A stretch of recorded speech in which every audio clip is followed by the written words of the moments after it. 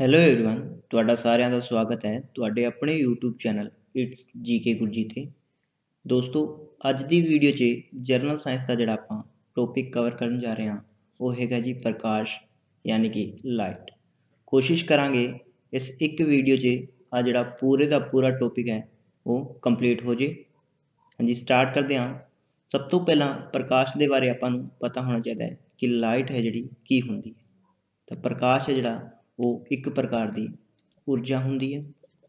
ਪ੍ਰਕਾਸ਼ ਇੱਕ ਪ੍ਰਕਾਰ ਦੀ ਊਰਜਾ ਹੁੰਦੀ ਹੈ, ਜਿਸ ਦੇ ਨਾਲ ਕਿ ਆਪਾਂ ਸੰਸਾਰ ਵਿੱਚ ਕੋਈ ਵੀ ਵਸਤੂ ਹੈ ਨੂੰ ਆਪਾਂ ਵੇਖ ਸਕਦੇ ਹਾਂ। ਵਸਤੂ ਨੂੰ ਆਪਾਂ ਵੇਖ ਸਕਦੇ ਹਾਂ ਕਿਸ ਦੀ ਮਦਦ ਨਾਲ? ਲਾਈਟ ਦੀ ਮਦਦ ਨਾਲ। ਜਿਵੇਂ ਐਗਜ਼ਾਮਪਲ ਨਾਲ ਸਮਝਾਉਂਦਾ ਜਿਵੇਂ ਆ ਕੋਈ ਵਸਤੂ ਹੈ ਤੇ ਇਸ ਦੇ ਉੱਤੇ ਕੋਈ ਇਸ ਤਰ੍ਹਾਂ ਲਾਈਟ ਪੈ ਰਹੀ ਹੈ। ਤੇ ਕੀ ਹੁੰਦਾ ਹੈ? ਆ ਜਿਹੜੀ ਵਸਤੂ ਹੋਵੇਗੀ ਆ ਲਾਈਟ ਨੂੰ ਪਰਿਵਰਤਿਤ ਕਰ ਦਿੰਦੀ ਹੈ।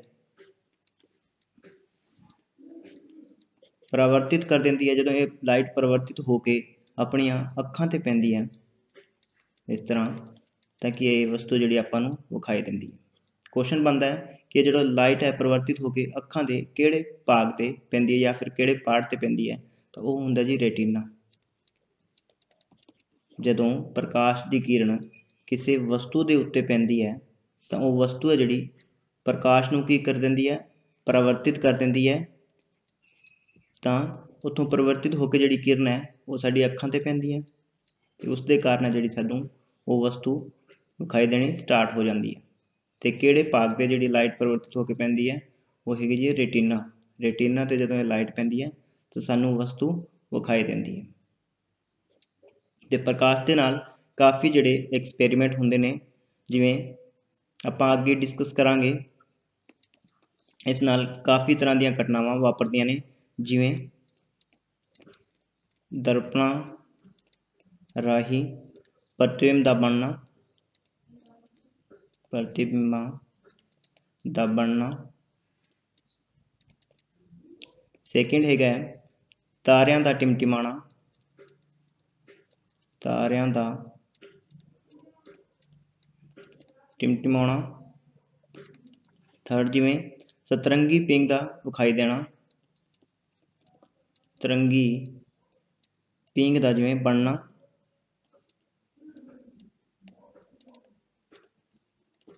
ਇਹ ਸਾਰੇ ਜਿਹੜੀਆਂ ਘਟਨਾਵਾਂ ਨੇ ਇਹ ਲਾਈਟ ਨਾਲ ਸੰਬੰਧਿਤ ਨੇ ਇਸ ਤੋਂ ਇਲਾਵਾ ਜਦੋਂ ਲਾਈਟ ਇੱਕ ਮੀਡੀਅਮ ਤੋਂ ਇੱਕ ਮਾਧਿਅਮ ਤੋਂ ਦੂਜੇ ਮਾਧਿਅਮ ਵਿੱਚ ਜਾਂਦੀ ਹੈ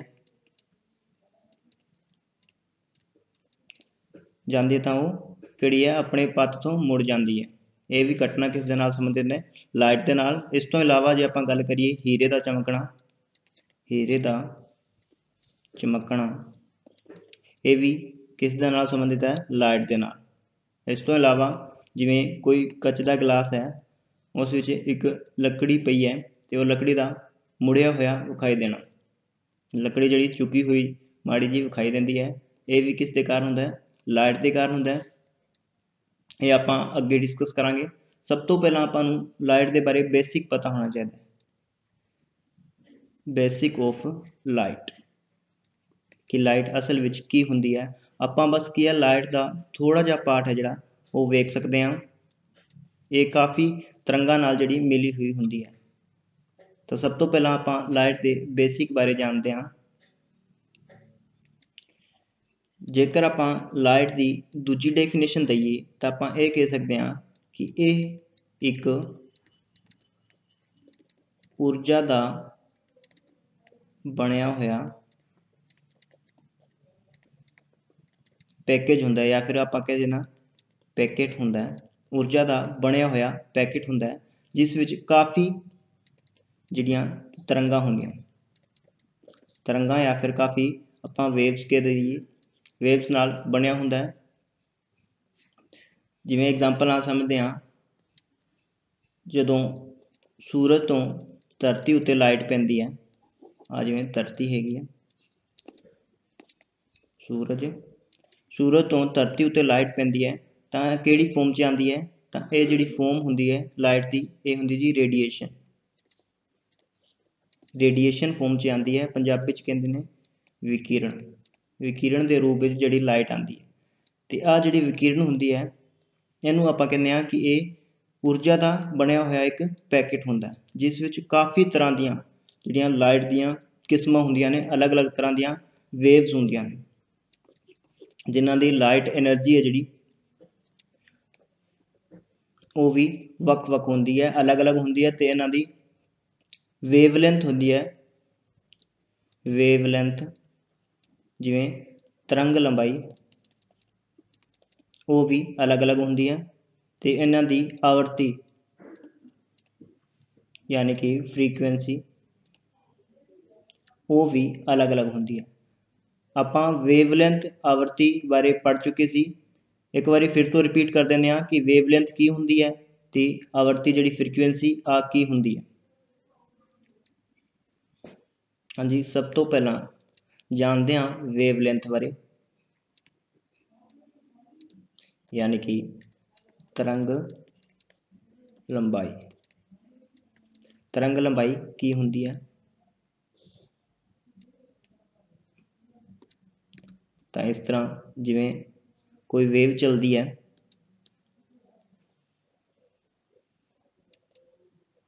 ਤਾਂ ਵੇਵ ਦਾ ਜਿਹੜਾ ਇੱਕ ਸਰਕਲ ਪੂਰਾ ਹੁੰਦਾ ਜਿਵੇਂ ਇੱਥੋਂ ਸਟਾਰਟ ਹੋ ਕੇ, ਇੱਥੋਂ ਸਟਾਰਟ ਹੋ ਕੇ ਆ ਪੁਆਇੰਟ A ਹੈਗਾ ਤੇ ਆ ਪੁਆਇੰਟ ਹੈਗਾ ਜੀ B ਆ ਇੱਕ ਜਿਵੇਂ ਇੱਕ ਸਰਕਲ ਜਿਵੇਂ ਵੇਵ ਦਾ ਪੂਰਾ ਹੁੰਦਾ ਤੇ ਇੱਥੋਂ ਤੱਕ ਦੀ ਜਿੰਨੀ ਵੀ ਲੰਬਾਈ ਬਣਦੀ ਹੈ ਪੁਆਇੰਟ A ਤੋਂ ਲੈ ਕੇ ਪੁਆਇੰਟ B ਦੀ ਜਿੰਨੀ ਲੰਬਾਈ ਬਣਦੀ ਹੈ, ਉਹਨੂੰ ਕਹਿੰਦੇ ਨੇ ਜੀ ਤਰੰਗ ਲੰਬਾਈ।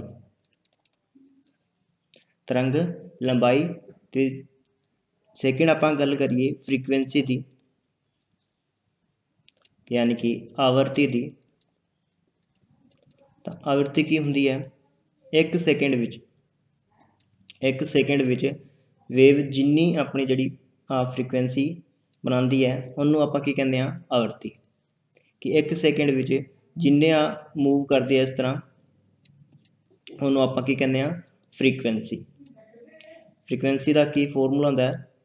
ਫ੍ਰੀਕੁਐਂਸੀ ਕੀ ਹੁੰਦਾ ਹੈ? Frequency is equal to number of vibration ਬਟਾ time ਕਿ 1 ਸੈਕਿੰਡ ਵਿੱਚ ਜਿੰਨੇ ਆ ਵਾਈਬ੍ਰੇਸ਼ਨ ਕਰ ਰਹੀ ਹੈ, ਉਹਨੂੰ ਆਪਾਂ ਕੀ ਕਵਾਂਗੇ? ਫ੍ਰੀਕੁਐਂਸੀ ਤੇ ਆਪਣੇ ਸੁਣਨ ਦੀ ਜਿਹੜੀ ਫ੍ਰੀਕੁਐਂਸੀ ਕਿੰਨੀ ਹੁੰਦੀ ਹੈ? 20 ਹਰਟਜ਼ ਤੋਂ ਲੈ ਕੇ 20000 ਹਰਟਜ਼ ਤੱਕ। 20000 ਹਰਟਜ਼ ਤੱਕ ਜਿਹੜੀ ਫ੍ਰੀਕੁਐਂਸੀ ਹੁੰਦੀ ਹੈ। ਜਿਵੇਂ ਐਗਜ਼ਾਮਪਲ ਨਾਲ ਆਪਾਂ ਕਲੀਅਰ ਕਰਦੇ ਹਾਂ। ਜਿਵੇਂ 100 ਵਾਈਬ੍ਰੇਸ਼ਨ ਨੇ 5 ਸੈਕਿੰਡ ਵਿੱਚ। 100 ਜਿਹੜੇ ਵਾਈਬ੍ਰੇਸ਼ਨ ਨੇ, ਇੱਕ ਵੇਵ ਹੈਗੀ ਹੈ ਉਹ 100 ਵਾਈਬ੍ਰੇਸ਼ਨ ਕਰਦੀ ਹੈ 5 ਸੈਕਿੰਡ ਵਿੱਚ, ਤਾਂ ਇਹਦੀ ਜਿਹੜੀ ਆਵਰਤੀ ਕਿੰਨੀ ਹੋ ਜਾਏਗੀ? 20 ਹਰਟਜ਼। ਇਹਨੂੰ ਆਪਾਂ ਕੀ ਕਹਿੰਦੇ ਆ? 20 ਹਰਟਜ਼। ਇਹਦਾ ਜਿਹੜੀ ਇਕਾਈ ਕੀ ਹੈਗੀ ਹੈ ਹਰਟਜ਼। ਫ੍ਰੀਕੁਐਂਸੀ ਦੀ ਇਕਾਈ ਕੀ ਹੈਗੀ ਹੈ ਹਰਟਜ਼। ਤਾਂ ਦੋਵੇਂ ਪੁਆਇੰਟ ਜਿਹੜੇ ਆਪਣਾ ਕਲੀਅਰ ਹੋ ਗਏ ਨੇ ਵੇਵਲੈਂਥ ਕੀ ਹੁੰਦੀ ਹੈ ਕਿ ਇੱਕ ਤਰੰਗ ਦੁਆਰਾ ਪੂਰਾ ਜਿਹੜਾ ਸਰਕਲ ਕੰਪਲੀਟ ਹੋ ਜੇ, ਉਹ ਜਿੰਨੀ ਵੀ ਲੈਂਥ ਹੋਵੇਗੀ, ਉਹਨੂੰ ਕੀ ਕਹਿੰਦੇ ਨੇ ਵੇਵਲੈਂਥ ਜਾਂ ਫਿਰ ਤਰੰਗ ਜਿਹੜੀ ਲੰਬਾਈ ਫ੍ਰੀਕੁਐਂਸੀ ਕੀ ਹੁੰਦੀ ਹੈ ਕਿ 1 ਸੈਕਿੰਡ ਵਿੱਚ ਜਿਹੜੀ ਤਰੰਗ ਜਿੰਨੇ ਵੀ ਵਾਈਬ੍ਰੇਸ਼ਨ ਕਰਦੀ ਹੈ, ਉਹਨੂੰ ਆਪਾਂ ਕੀ ਕਵਾਂਗੇ, ਆਵਰਤੀ। ਤਾਂ ਦੋਵੇਂ ਪੁਆਇੰਟ ਕਲੀਅਰ ਹੋ ਗਏ। ਹੁਣ ਆਪਾਂ ਗੱਲ ਕਰ ਰਹੇ ਸੀ ਲਾਈਟ ਦੀ, ਕਿ ਲਾਈਟ ਹੈ ਜਿਹੜੀ ਸੂਰਜ ਤੋਂ ਜਦੋਂ ਲਾਈਟ ਆਂਦੀ ਹੈ, ਤਾਂ ਉਹ ਕਿਹੜੀ ਹੈ, ਕਿਹੜੀ ਫਾਰਮ 'ਚ ਆਂਦੀ ਹੈ? ਇੱਕ ਰੇਡੀਏਸ਼ਨ ਦੀ। ਰੇਡੀਏਸ਼ਨ ਦੇ ਫਾਰਮ 'ਚ ਆਂਦੀ ਹੈ ਤੇ ਇਹ ਰੇਡੀਏਸ਼ਨ ਕੀ ਹੁੰਦੀ ਹੈ ਊਰਜਾ ਦਾ ਇੱਕ ਪੈਕੇਟ ਜਿਹਨੂੰ ਆਪਾਂ ਕਹਿ ਸਕਦੇ ਹਾਂ। ਇਸ ਵਿੱਚ ਕਾਫੀ ਤਰ੍ਹਾਂ ਦੀਆਂ ਤਰੰਗਾਂ ਜਿਹੜੀਆਂ ਮਿਕਸ ਹੁੰਦੀਆਂ ਨੇ। ਹੁਣ ਆਪਾਂ ਗੱਲ ਕਰਦੇ ਹਾਂ ਕਿ ਸਭ ਤੋਂ ਜ਼ਿਆਦਾ એનર્ਜੀ ਕਿਹੜੀ ਤਰੰਗ ਦੀ ਹੁੰਦੀ ਹੈ ਉਸ ਤੋਂ ਬਾਅਦ ਕੱਟ ਕਿੰਦੀ ਹੁੰਦੀ ਹੈ ਇਸ ਤਰ੍ਹਾਂ ਕੱਟਦੇ ਕ੍ਰਮ 'ਚ ਆਪਾਂ ਜਿਵੇਂ ਲਾਵਾਂਗੇ ਹੁਣੇ। ਤਾਂ ਜੀ ਜਾਣਦੇ ਹਾਂ ਰੇਡੀਏਸ਼ਨ ਬਾਰੇ। ਹਾਂਜੀ, ਹੁਣੇ ਆਪਾਂ ਗੱਲ ਕਰ ਰਹੇ ਸੀ ਕਿ ਸੂਰਜ ਤੋਂ ਜਿਹੜੀ ਲਾਈਟ ਆਂਦੀ ਹੈ ਉਹ ਰੇਡੀਏਸ਼ਨ ਦੇ ਫਾਰਮ 'ਚ ਆਂਦੀ ਹੈ ਇਸ ਤਰ੍ਹਾਂ ਆ ਜਿਵੇਂ ਧਰਤੀ ਹੈਗੀ ਤੇ ਇਸ ਜਿਹੜੀ ਰੇਡੀਏਸ਼ਨ ਦੀ ਫਾਰਮ ਨੂੰ ਕਹਿੰਦੇ ਨੇ ਇਲੈਕਟ੍ਰੋਮੈਗਨੈਟਿਕ ਰੇਡੀਏਸ਼ਨ ਆ ਜਿਹੜੀ ਫਾਰਮ 'ਚ ਆਂਦੀ ਹੈ ਉਹਨੂੰ ਕਹਿੰਦੇ ਨੇ ਇਲੈਕਟ੍ਰੋ ਮੈਗਨੈਟਿਕ ਰੇਡੀਏਸ਼ਨ ਜਾਂ ਫਿਰ ਪੰਜਾਬੀ ਚ ਕਹਿ ਦਈਏ, ਬਿਜਲੀਏ ਚੁੰਬਕੀਏ ਵਿਕਿਰਣ। ਬਿਜਲਈ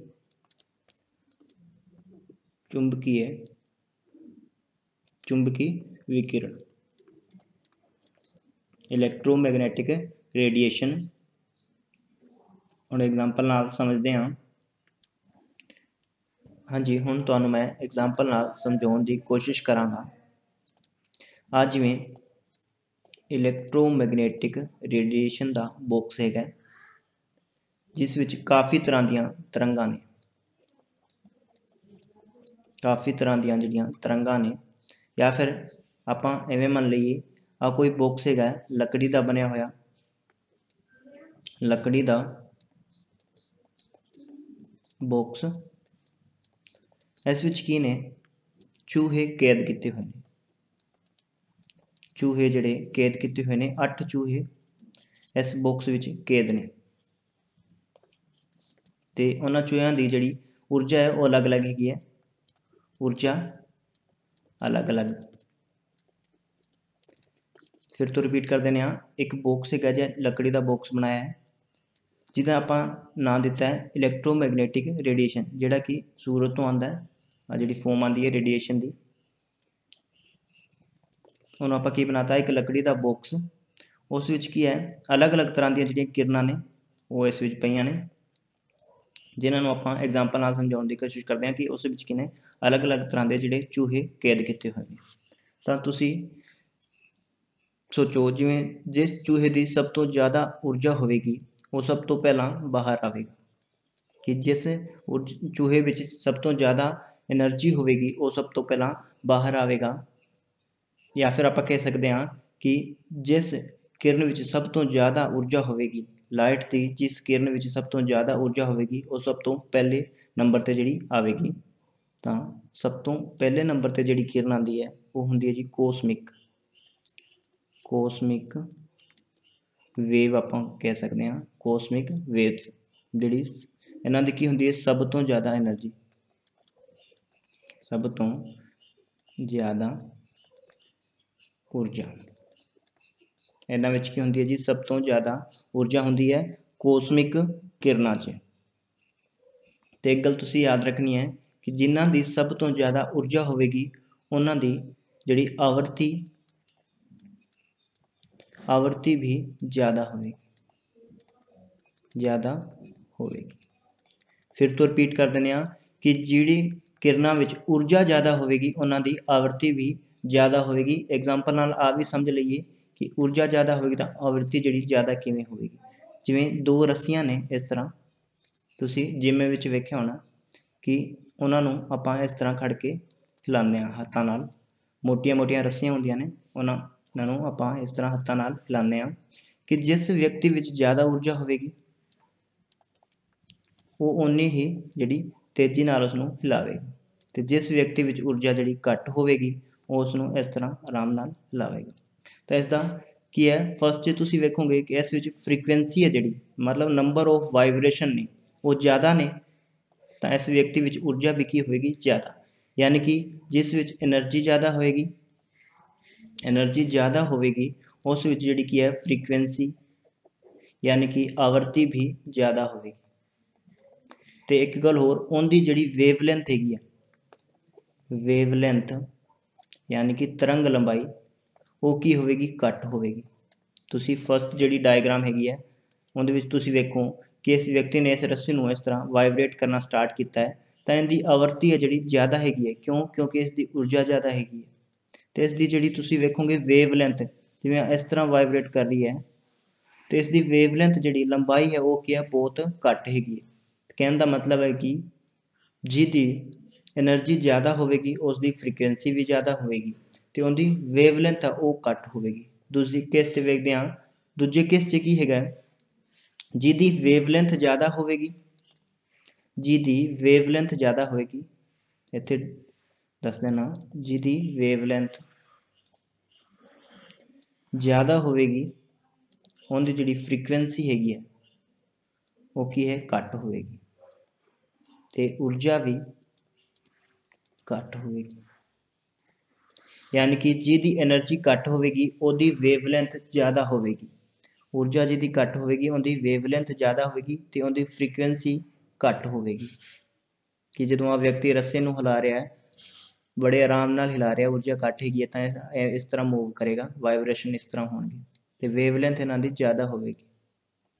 ਊਰਜਾ ਬੰਦੇ ਦੀ ਘੱਟ ਹੋਵੇਗੀ ਵੇਵਲੈਂਥ ਜ਼ਿਆਦਾ ਹੋਵੇਗੀ ਤੇ ਫ੍ਰੀਕੁਐਂਸੀ ਉਹ ਵੀ ਘੱਟ ਹੋਵੇਗੀ। ਹੁਣ ਆਪਾਂ ਗੱਲ ਕਰ ਰਹੇ ਸੀ ਕਿ ਸਭ ਤੋਂ ਜ਼ਿਆਦਾ ਜਿਹਦੀ એનર્ਜੀ ਹੋਵੇਗੀ, ਉਹ ਸਭ ਤੋਂ ਪਹਿਲਾਂ ਬਾਹਰ ਆਵੇਗੀ ਜਾਂ ਫਿਰ ਇਸ ਤਰ੍ਹਾਂ ਕਹਿ ਸਕਦੇ ਹਾਂ ਕਿ ਜਿਸ ਚੂਹੇ ਵਿੱਚ ਸਭ ਤੋਂ ਜ਼ਿਆਦਾ એનર્ਜੀ ਹੋਏਗੀ, ਉਹ ਪਹਿਲਾਂ ਬਾਹਰ ਆਵੇਗਾ। ਤਾਂ ਪਹਿਲੇ ਨੰਬਰ ਤੇ ਜਿਹੜੀ ਕਿਰਨਾਂ ਬਾਹਰ ਆਉਂਦੀਆਂ ਨੇ, ਉਹ ਹਨ ਕੋਸਮਿਕ ਵੇਵਸ ਜਾਂ ਫਿਰ ਕੋਸਮਿਕ ਕਿਰਨਾਂ। ਨੈਕਸਟ ਆਪਾਂ ਕਰਦੇ ਹਾਂ। ਹਾਂਜੀ ਫਰਸਟ ਨੰਬਰ ਤੇ ਜਿਹੜੀ ਰੇ ਆਈ ਸੀ, ਉਹ ਸੀ ਕੋਸਮਿਕ ਤਰੰਗਾਂ, ਜਿਨ੍ਹਾਂ ਦੀ એનર્ਜੀ ਜ਼ਿਆਦਾ ਹੈਗੀ ਸੀ।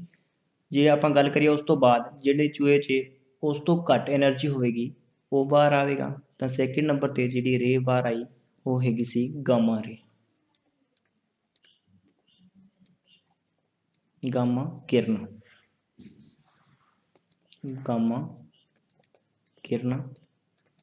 ਉਸ ਤੋਂ ਬਾਅਦ ਆਪਾਂ ਗੱਲ ਕਰੀਏ ਕਿ ਉਸ ਤੋਂ ਘੱਟ ਜਿਹਦੀ ਚੂਹੇ ਦੀ એનર્ਜੀ ਹੋਵੇਗੀ, ਉਹ ਬਾਹਰ ਆਵੇਗਾ, ਤਾਂ ਉਸ ਤੋਂ ਬਾਅਦ ਜਿਹੜਾ ਨੰਬਰ ਆਂਦਾ ਤੀਜੇ ਨੰਬਰ ਤੇ, ਉਹ ਹੈਗੇ ਐਕਸ-ਰੇ ਐਕਸ ਕਿਰਨਾਂ ਉਸ ਤੋਂ ਬਾਅਦ ਚੌਥੇ ਨੰਬਰ ਤੇ ਜਿਹੜੇ ਚੂਹੇ ਦੀ ਉਸ ਤੋਂ ਘੱਟ એનર્ਜੀ ਹੋਵੇਗੀ, ਉਹ ਬਾਹਰ ਆਵੇਗਾ। ਤਾਂ ਚੌਥੇ ਨੰਬਰ ਤੇ ਆਂਦਾ ਜੀ ਅਲਟਰਾ ਵਾਇਲਟ ਕਿਰਨ। ਇਹਨੂੰ ਕਹਿੰਦੇ ਨੇ ਪਰਾ ਬੈਂਗਣੀ ਕਿਰਨ।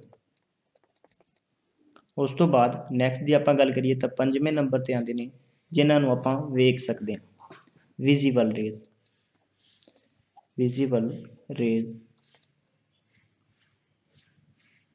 ਪੰਜਵੇਂ ਨੰਬਰ ਤੇ ਆਉਂਦੀਆਂ ਨੇ ਵਿਜ਼ੀਬਲ ਰੇਜ਼ ਕਿਹੜੀਆਂ ਹੁੰਦੀਆਂ ਨੇ? ਵਿਬਗਿਓਰ ਵਿਬਗਿਓਰ ਵਿਬਗਿਓਰ ਹੁੰਦੀਆਂ ਨੇ ਸੱਤ ਰੰਗਾਂ ਦੀ ਜਿਹੜੀ ਕਿਰਨ ਹੁੰਦੀ ਆਪਾਂ ਉਹਨਾਂ ਨੂੰ ਵੇਖ ਸਕਦੇ ਹਾਂ।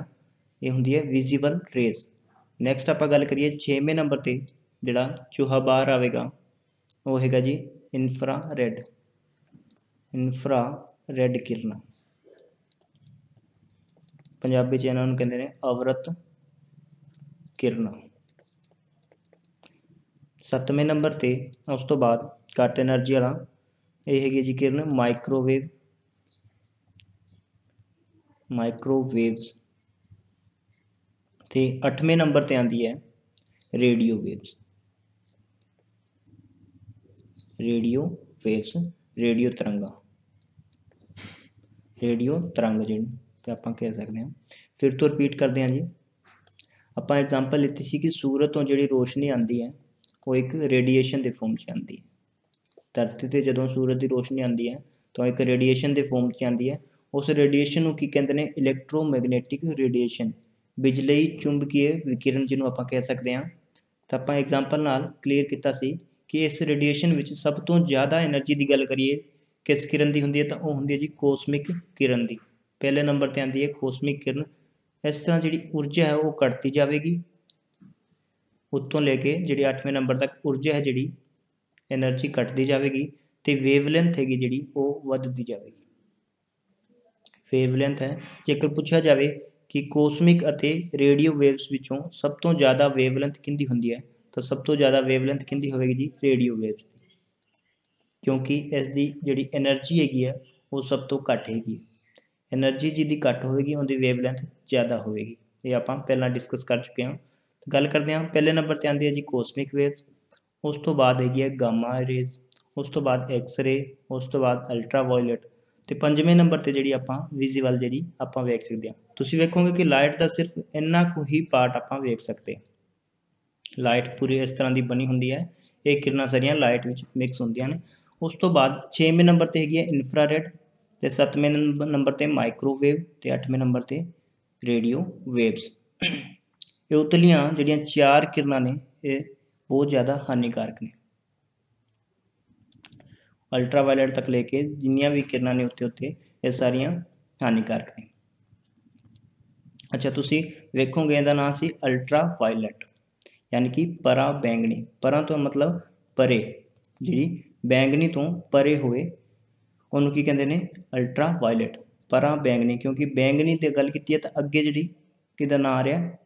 ਵਿਬਗਿਓਰ ਹੈਗੀ ਉਹਦੇ ਵਿੱਚ ਸਭ ਤੋਂ ਪਹਿਲਾਂ ਹੈਗੀ ਹੈ ਜੀ ਬੈਂਗਣੀ ਵਾਇਲਟ ਕਲਰ ਹੈਗਾ ਜੀ ਬੈਂਗਣੀ ਸਭ ਤੋਂ ਪਹਿਲਾਂ ਆਂਦਾ ਹੈ। ਤਾਂ ਉਸ ਤੋਂ ਪਹਿਲਾਂ ਜਿਹੜੀ ਕਿਰਨ ਹੈਗੀ ਹੈ, ਉਹਨੂੰ ਨਾਂ ਦਿੱਤਾ ਹੈ ਪਰਾ ਬੈਂਗਣੀ ਮਤਲਬ ਬੈਂਗਣੀ ਤੋਂ ਪਰਾਂ। ਉਹਨੂੰ ਕੀ ਕਹਿੰਦੇ ਨੇ? ਪਰਾ ਬੈਂਗਣੀ ਤੇ ਐਕਸ-ਰੇ ਜਿਹੜੇ ਆਪਾਂ ਕਰਵਾਉਂਦੇ ਹੁੰਦੇ ਆ ਉਹਦੇ ਵਿੱਚ ਯੂਜ਼ ਹੁੰਦੀ ਹੈ ਐਕਸ-ਰੇ ਉਸ ਤੋਂ ਬਾਅਦ ਜਿਹੜੀ ਅਲਟਰਾਵਾਇਲਟ ਆਪਾਂ ਯੂਜ਼ ਕਿੰਨੇ ਕਰਦੇ ਹਾਂ, ਜਿਵੇਂ ਅਲਟਰਾਵਾਇਲਟ ਯੂਜ਼ ਹੁੰਦੀ ਹੈ, ਜਿਵੇਂ ਦੁੱਧ ਵਿੱਚ ਜਿਹੜੇ ਸੂਖਮ ਜੀਵ ਹੁੰਦੇ ਹਨ, ਉਹਨਾਂ ਨੂੰ ਮਾਰਨ ਲਈ ਬਾਕੀ ਆਪਾਂ ਡਿਸਕਸ ਕਰ ਚੁੱਕੇ ਹਾਂ, ਪਹਿਲਾਂ ਚੈਪਟਰ 'ਚ ਅਲਟਰਾਵਾਇਲਟ ਕਿਸ ਦੇ ਲਈ ਯੂਜ਼ ਹੁੰਦੀ ਹੈ। ਤੇ ਵਿਜ਼ੀਬਲ ਰੇਜ਼ ਦੀ ਆਪਾਂ ਗੱਲ ਕਰ ਰਹੇ ਸੀ ਵਿਜ਼ੀਬਲ ਹੁੰਦੀ ਹੈ, ਇਸ ਵਿੱਚ ਸੱਤ ਕਲਰ ਹੁੰਦੇ ਨੇ ਵਿਪ ਗਿਓਰ ਵੀ ਨਾਲ ਹੁੰਦਾ ਹੈ ਵਾਇਲਟ ਤੇ ਉਸ ਤੋਂ ਬਾਅਦ ਆਈ ਹੈਗੀ ਹੈ ਆਈ ਦੇ ਨਾਲ ਇੰਡੀਗੋ ਇੰਡੀਗੋ। ਚਲੋ ਆ ਵੇਬਗਿਓਰ ਆ ਜਿਹੜਾ ਨੈਕਸਟ ਪੇਜ ਤੇ ਆਪਾਂ ਡਿਸਕਸ ਕਰਾਂਗੇ ਆਰਾਮ ਨਾਲ। ਬਾਕੀ ਤੁਸੀਂ ਸਮਝੋ ਇੱਕ ਵਾਰੀ ਜਿਹੜੀ ਇਨਫਰਾਰੈਡ ਹੈਗੀ ਹੈ ਕਿਰਨਾਂ ਆ ਕੀ ਕੰਮ ਕਰਦੇ ਹਨ? ਜੇਕਰ ਕੋਈ ਵਸਤੂ ਹੈਗੀ ਹੈ ਜਿਵੇਂ ਆ ਦਿਨ ਵੇਲੇ ਜਿੰਨੀ ਵੀ એનર્ਜੀ ਸੋਖਦੀ ਹੈ, ਜਿੰਨੀ ਵੀ ਹੀਟ ਸੋਖਦੀ ਹੈ, ਜਿਵੇਂ ਵਸਤੂ ਦੀ ਥਾਂ ਕੋਈ ਹੋਰ ਜਿਵੇਂ ਧਰਤੀ ਹੈਗੀ ਹੈ, ਸਵੇਰ ਦੇ ਟਾਈਮ ਜਿੰਨੀ ਵੀ ਆ ਗਰਮੀ ਸੋਖ ਰਹੀ ਹੈ, ਤੇ ਸ਼ਾਮ ਵੇਲੇ ਕੀ ਆ ਗਰਮੀ ਛੱਡਦੀ ਹੈ ਇਸ ਤਰ੍ਹਾਂ? ਤੇ ਆ ਕਿਸ ਫਾਰਮ 'ਚ ਛੱਡਦੀ ਹੈ ਜੀ? ਉਹ ਛੱਡਦੀ ਹੈ ਜੀ ਇਨਫਰਾਰੈਡ ਕਿਰਨਾਂ ਦੇ ਫਾਰਮ 'ਚ। ਜਿਵੇਂ ਹੋਰ ਐਗਜ਼ਾਮਪਲ ਲੈ ਲਈਏ, ਜਿਵੇਂ ਕੋਈ ਲੋਹੇ ਦਾ ਟੁਕੜਾ ਹੈਗਾ।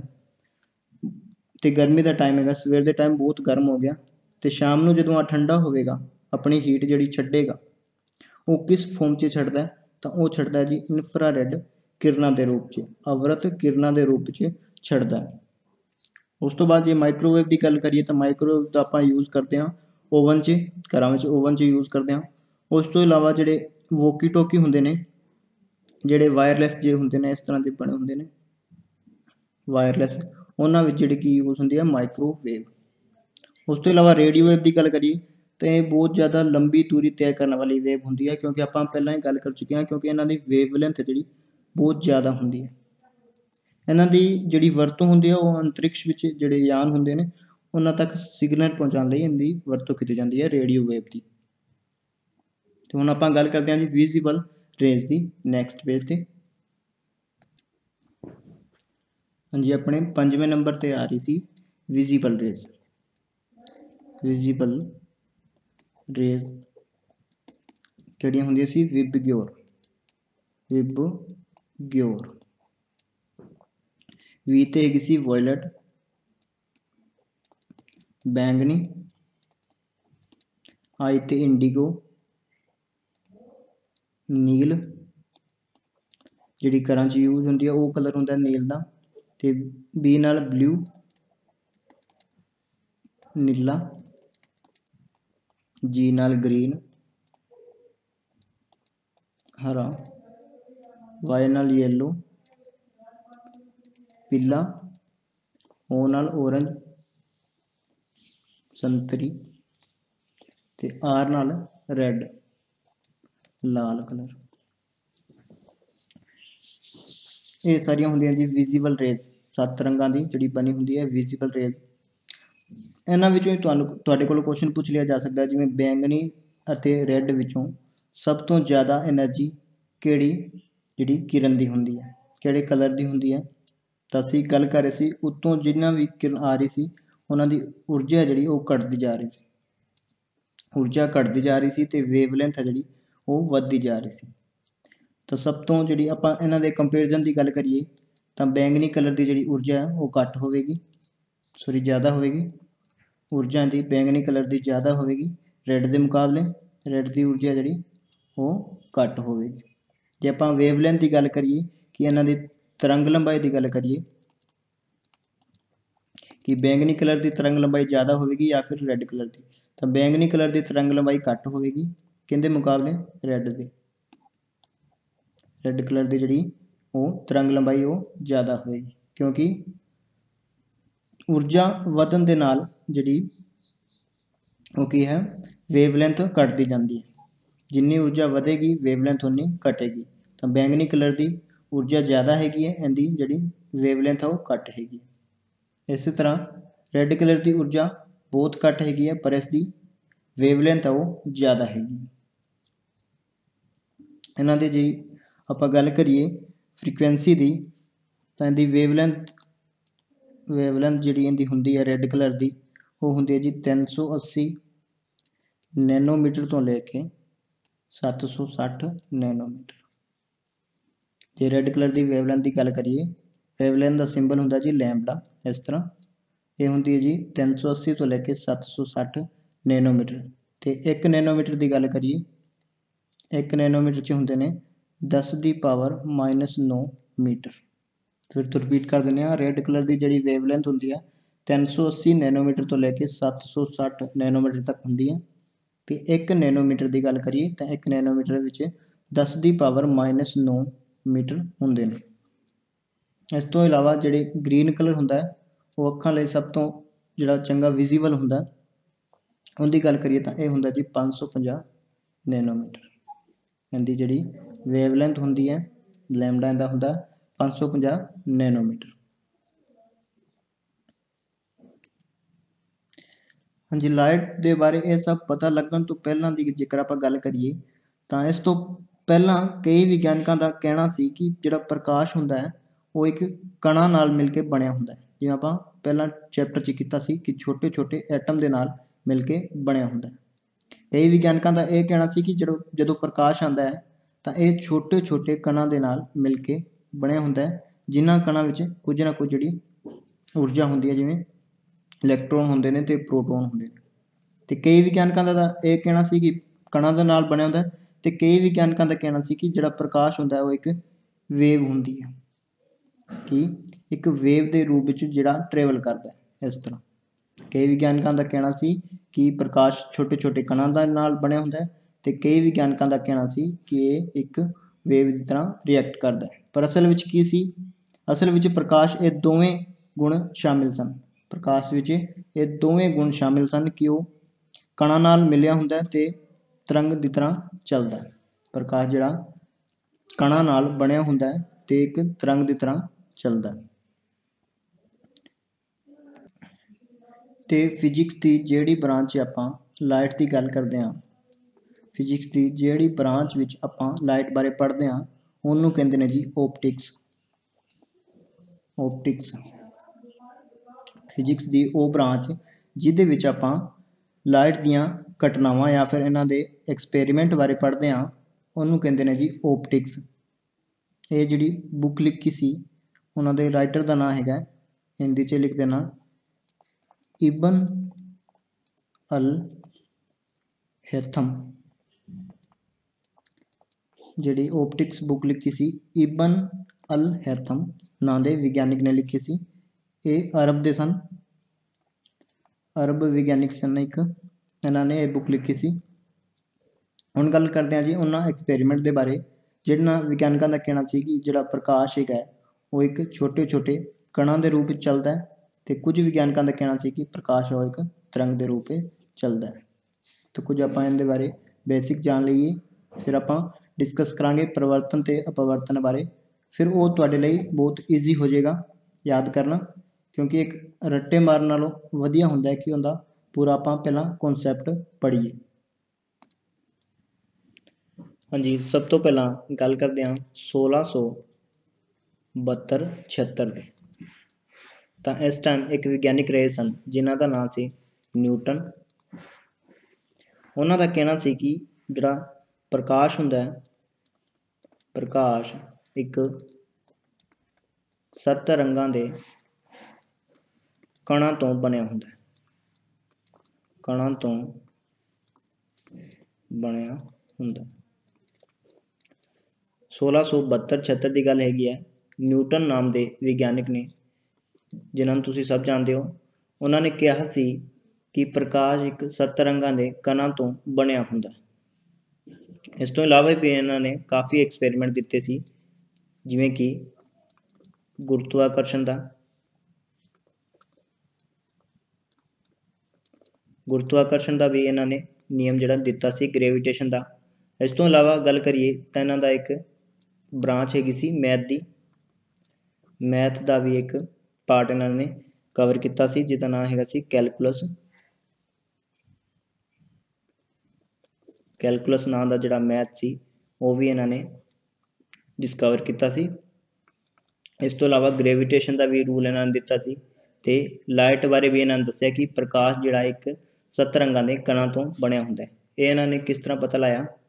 ਇਹਨਾਂ ਨੇ ਜਦੋਂ ਪ੍ਰਕਾਸ਼ ਨੂੰ ਇੱਕ ਪ੍ਰਿਜ਼ਮ ਵਿੱਚੋਂ ਲੰਘਾਇਆ ਆਏਗਾ ਜੀ ਪ੍ਰਿਜ਼ਮ ਜਦੋਂ ਪ੍ਰਕਾਸ਼ ਇੱਕ ਪ੍ਰਿਜ਼ਮ ਵਿੱਚੋਂ ਲੰਘਦਾ ਹੈ ਤਾਂ ਇਹ ਅੱਗੇ ਸੱਤ ਰੰਗਾਂ ਵਿੱਚ ਇਸ ਤਰ੍ਹਾਂ ਬਿਖਰ ਜਾਂਦਾ ਇਹ ਰੰਗ ਹੁੰਦੇ ਨੇ ਵਿਬਗਿਓਰ ਵਿਬਗਿਓਰ ਤੇ ਨਿਊਟਨ ਨੇ ਇਹ ਜਿਹੜਾ ਸਿਧਾਂਤ ਦਿੱਤਾ ਸੀ ਕਿ ਪ੍ਰਕਾਸ਼ ਹੈਗਾ ਜਿਹੜਾ ਇੱਕ ਸੱਤ ਰੰਗਾਂ ਦੇ ਕਣਾਂ ਵਿੱਚ ਬਣਿਆ ਹੁੰਦਾ ਹੈ। ਸੱਤ ਰੰਗਾਂ ਦੇ ਕਣਾਂ ਵਿੱਚ ਜਿਹੜਾ ਡਿਵਾਈਡ ਹੁੰਦਾ ਹੈ।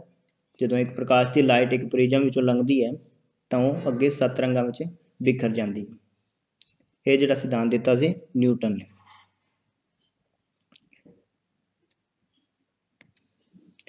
ਇਸ ਤੋਂ ਇਲਾਵਾ ਇਹਨਾਂ ਨੇ ਇਹ ਵੀ ਦੱਸਿਆ ਸੀ ਕਿ ਪ੍ਰਕਾਸ਼ ਦਾ ਵੇਗ, ਪ੍ਰਕਾਸ਼ ਦਾ ਜਿਹੜਾ ਵੇਗ ਹੁੰਦਾ ਹੈ ਵੈਲੋਸਿਟੀ ਹੁੰਦੀ ਹੈ, ਉਹ ਸੰਘਣੇ ਮਾਧਿਅਮ ਵਿੱਚ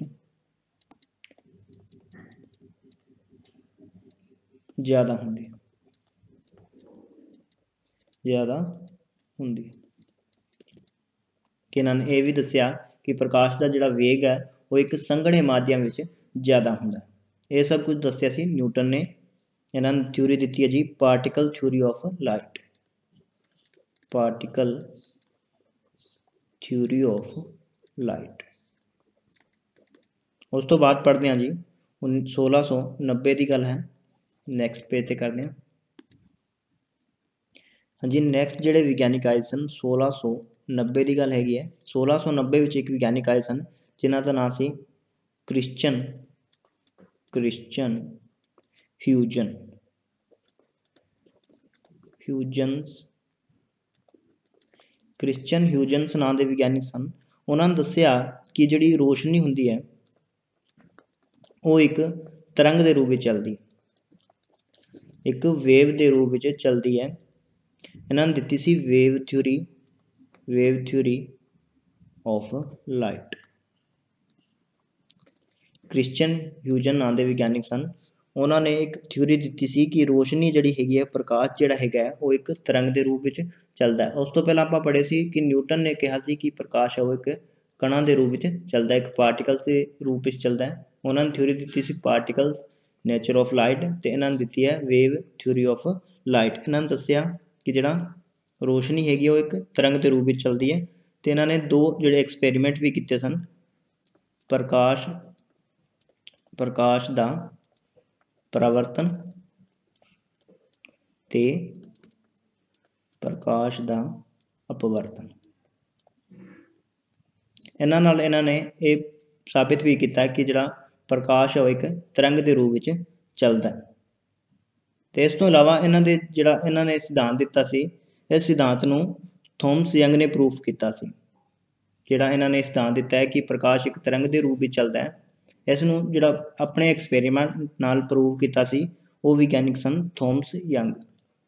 ਥੋਮਸ ਯੰਗ ਨਾਮ ਦੇ ਜਿਹੜੇ ਵਿਗਿਆਨਿਕ ਸਨ, ਉਹਨਾਂ ਨੇ ਜਿਹੜਾ ਕ੍ਰਿਸਚੀਅਨ ਹਿਊਜਨ ਦਾ ਜਿਹੜਾ ਸਿਧਾਂਤ ਸੀ, ਉਹਨੂੰ ਪ੍ਰੂਵ ਕੀਤਾ ਉਹ ਨੈਕਸਟ ਪੇਜ ਤੇ ਆਪਾਂ ਕਰਦੇ ਹਾਂ।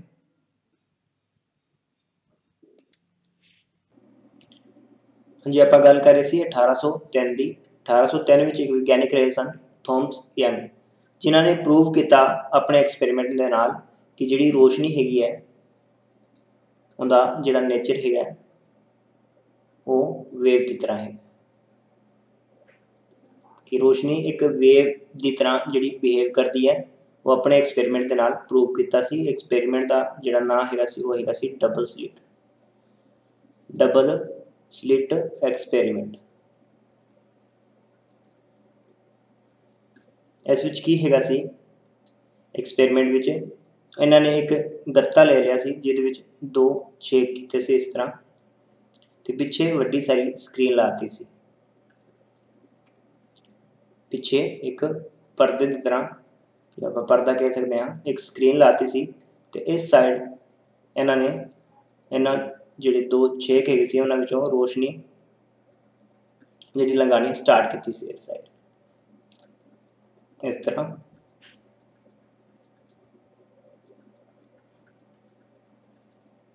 ਇਸ ਤਰ੍ਹਾਂ ਜਿਹੜੀ ਰੋਸ਼ਨੀ ਨਾਲ ਛੇਕਾਂ ਵਿੱਚੋਂ ਹੋ ਕੇ ਗੁਜ਼ਰੀ। ਤੇ ਪਿੱਛੇ ਇਹਨਾਂ ਨੇ ਜਿਹੜੀ ਸਕਰੀਨ ਲਾਈ ਸੀ, ਉਹਦੇ ਉੱਤੇ ਵੇਖਿਆ ਕਿ ਜਿਹੜੀ ਲਾਈਟ ਹੈ, ਉਹ ਕਈ ਥਾਵਾਂ ਤੇ ਇਸ ਤਰ੍ਹਾਂ ਇਕੱਠੀ ਹੋ ਗਈ ਸੀ। ਤੇ ਕਈ ਥਾਵਾਂ ਤੇ ਉਹ ਇਸ ਤਰ੍ਹਾਂ ਫੈਲ ਗਈ ਸੀ। ਫਿਰ ਕਈ ਥਾਵਾਂ ਤੇ ਇਕੱਠੀ, ਫਿਰ ਕਈ ਥਾਵਾਂ ਤੇ ਇਸ ਤਰ੍ਹਾਂ ਫੈਲ ਗਈ ਸੀ। ਕਹਿਣ ਦਾ ਮਤਲਬ ਹੈ, ਜਿਹੜੀ ਰੋਸ਼ਨੀ ਹੈ, ਉਹ ਇੱਕ ਵੇਵ ਦੀ ਤਰ੍ਹਾਂ ਜਾ ਰਹੀ ਸੀ। ਕਈ ਥਾਵਾਂ ਤੇ ਇਸ ਤਰ੍ਹਾਂ ਟਕਰਾਈ ਹੈ, ਜਿਸ ਦੇ ਕਾਰਨ ਕੀ ਹੈ, ਉਹਦਾ ਸਪੇਸ ਜਿਹੜਾ ਹੈਗਾ, ਉਹ ਘੱਟ ਉਹਨੇ ਓਕੂਪਾਈ ਕੀਤਾ ਤੇ ਇੱਕ ਡੋਟ ਦੀ ਤਰ੍ਹਾਂ ਬਣ ਗਈ ਤੇ ਕਈ ਥਾਵਾਂ ਤੇ ਨਹੀਂ ਟਕਰਾਈ, ਉੱਥੇ ਜਿਹੜੀ ਇਹਦੀ ਲੈਂਥ ਆ, ਉਹ ਵੱਧ ਗਈ। ਤੇ ਦੋ ਤਰ੍ਹਾਂ ਜਿਵੇਂ ਵੇਵ ਟਰੈਵਲ ਕਰਦੀਆਂ ਨੇ ਇੱਕ ਤਾਂ ਸੇਮ ਇਸੇ ਤਰ੍ਹਾਂ ਦੂਜੀ ਵੇਵ ਟਰੈਵਲ ਕਰੇ। ਤੇ ਦੂਜਾ ਕੇਸ ਬਣਦਾ ਹੈ ਵੇਵ ਇਸ ਤਰ੍ਹਾਂ ਟਰੈਵਲ ਕਰੇ। ਇੱਕ ਇਸ ਤਰ੍ਹਾਂ ਤੇ ਦੂਜੀ ਇਸ ਤਰ੍ਹਾਂ। ਦੋ ਤਰ੍ਹਾਂ ਵੇਵ ਜਿਹੜੀ ਟਰੈਵਲ ਕਰਦੇ ਨੇ।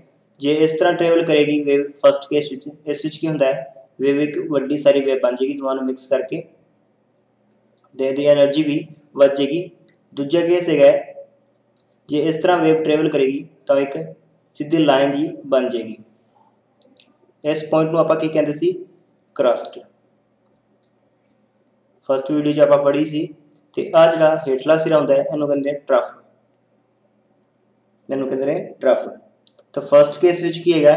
એનર્ਜੀ ਕੀ ਹੈਗੀ ਸੀ? ਹਾਈ એનર્ਜੀ ਕੀ ਹੈਗੀ ਸੀ? ਜ਼ਿਆਦਾ ਹੈਗੀ ਸੀ। ਤੇ ਦੂਜੇ ਕੇਸ ਵਿੱਚ ਕੀ ਹੁੰਦਾ? ਹੈ એનર્ਜੀ ਲੋ ਤਾਂ ਇਸ ਐਕਸਪੈਰੀਮੈਂਟ ਤੋਂ ਇਹ ਪ੍ਰੂਵ ਹੋਇਆ ਕਿ ਜਿਹੜੀ ਰੋਸ਼ਨੀ ਹੈਗੀ ਹੈ, ਉਹ ਕਿਸ ਤਰ੍ਹਾਂ ਟਰੈਵਲ ਕਰਦੀ ਹੈ? ਤਰੰਗ ਦੀ ਤਰ੍ਹਾਂ। ਇੱਕ ਵੇਵ ਦੀ ਤਰ੍ਹਾਂ ਜਿਹੜੀ ਟਰੈਵਲ ਕਰਦੀ ਹੈ, ਫਿਰ ਤੋਂ ਰਿਪੀਟ ਕਰ ਦਿੰਦੇ ਆ ਐਕਸਪੈਰੀਮੈਂਟ ਥੋਮਸ ਯੰਗ ਦਾ ਐਕਸਪੈਰੀਮੈਂਟ ਸੀ ਡਬਲ ਸਲਿਟ ਐਕਸਪੈਰੀਮੈਂਟ ਕੀ ਕੀਤਾ ਸੀ? ਇੱਕ ਗੱਤੇ ਵਿੱਚ ਦੋ ਛੇਕ ਕੀਤੇ ਸੀ ਇਸ ਤਰ੍ਹਾਂ। ਤੇ ਪਿੱਛੇ ਇੱਕ ਵੱਡੀ ਸਾਰੀ ਸਕਰੀਨ ਲਾਤੀ ਸੀ। ਇਸ ਸਾਈਡ ਜਿਹੜੀ ਰੋਸ਼ਨੀ ਪਾਸ ਕਰਨੀ ਸਟਾਰਟ ਕੀਤੀ ਸੀ ਇਸ ਵਿੱਚੋਂ। ਕੀ ਵੇਖਿਆ ਕਿ ਰੋਸ਼ਨੀ ਦੀ ਜਿਹੜੀ ਵੇਵ ਹੈ, ਉਹ ਕਈ ਥਾਵਾਂ ਤੇ ਟਕਰਾ ਜਾਂਦੀ ਹੈ, ਜਿਸ ਦੇ ਕਾਰਨ ਜਿਹੜੀ ਰੋਸ਼ਨੀ ਉਹ ਬਹੁਤ ਥੋੜਾ ਜਿਹੜਾ ਸਪੇਸ ਓਕਿਊਪਾਈ ਕਰਦੀ ਹੈ। ਪਰਦੇ ਉੱਤੇ ਇਹਨਾਂ ਨੇ ਵੇਖਿਆ ਕਿ ਇੱਕ ਛੋਟਾ ਜਿਹਾ ਡੋਟ ਜਿਹਾ ਬਣ ਗਿਆ ਤੇ ਕਈ ਥਾਵਾਂ ਤੇ ਕਾਫੀ ਲੰਬੀਆਂ ਦੀ ਜਿਹੜੀ ਵੇਵਲੈਂਥ ਬਣ ਗਈ ਸੀ ਲੈਂਥ ਜਿਹੜੀ ਲੰਬੀ ਹੋ ਗਈ ਸੀ।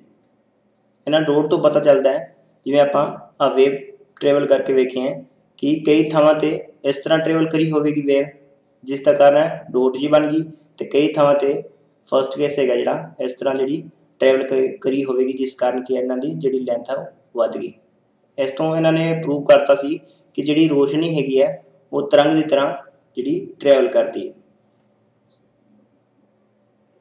ਜਿਹੜਾ ਫਸਟ ਆ ਬੰਦਾ ਕੇਸ ਇਹਨੂੰ ਕਹਿੰਦੇ ਨੇ ਕੰਸਟਰਕਟਿਵ ਵੇਵ ਜਿਹੜਾ ਫਸਟ ਕੇਸ ਹੈਗਾ ਸੀ ਵੇਵ ਦਾ, ਇਹਨੂੰ ਬੋਲਦੇ ਨੇ constructive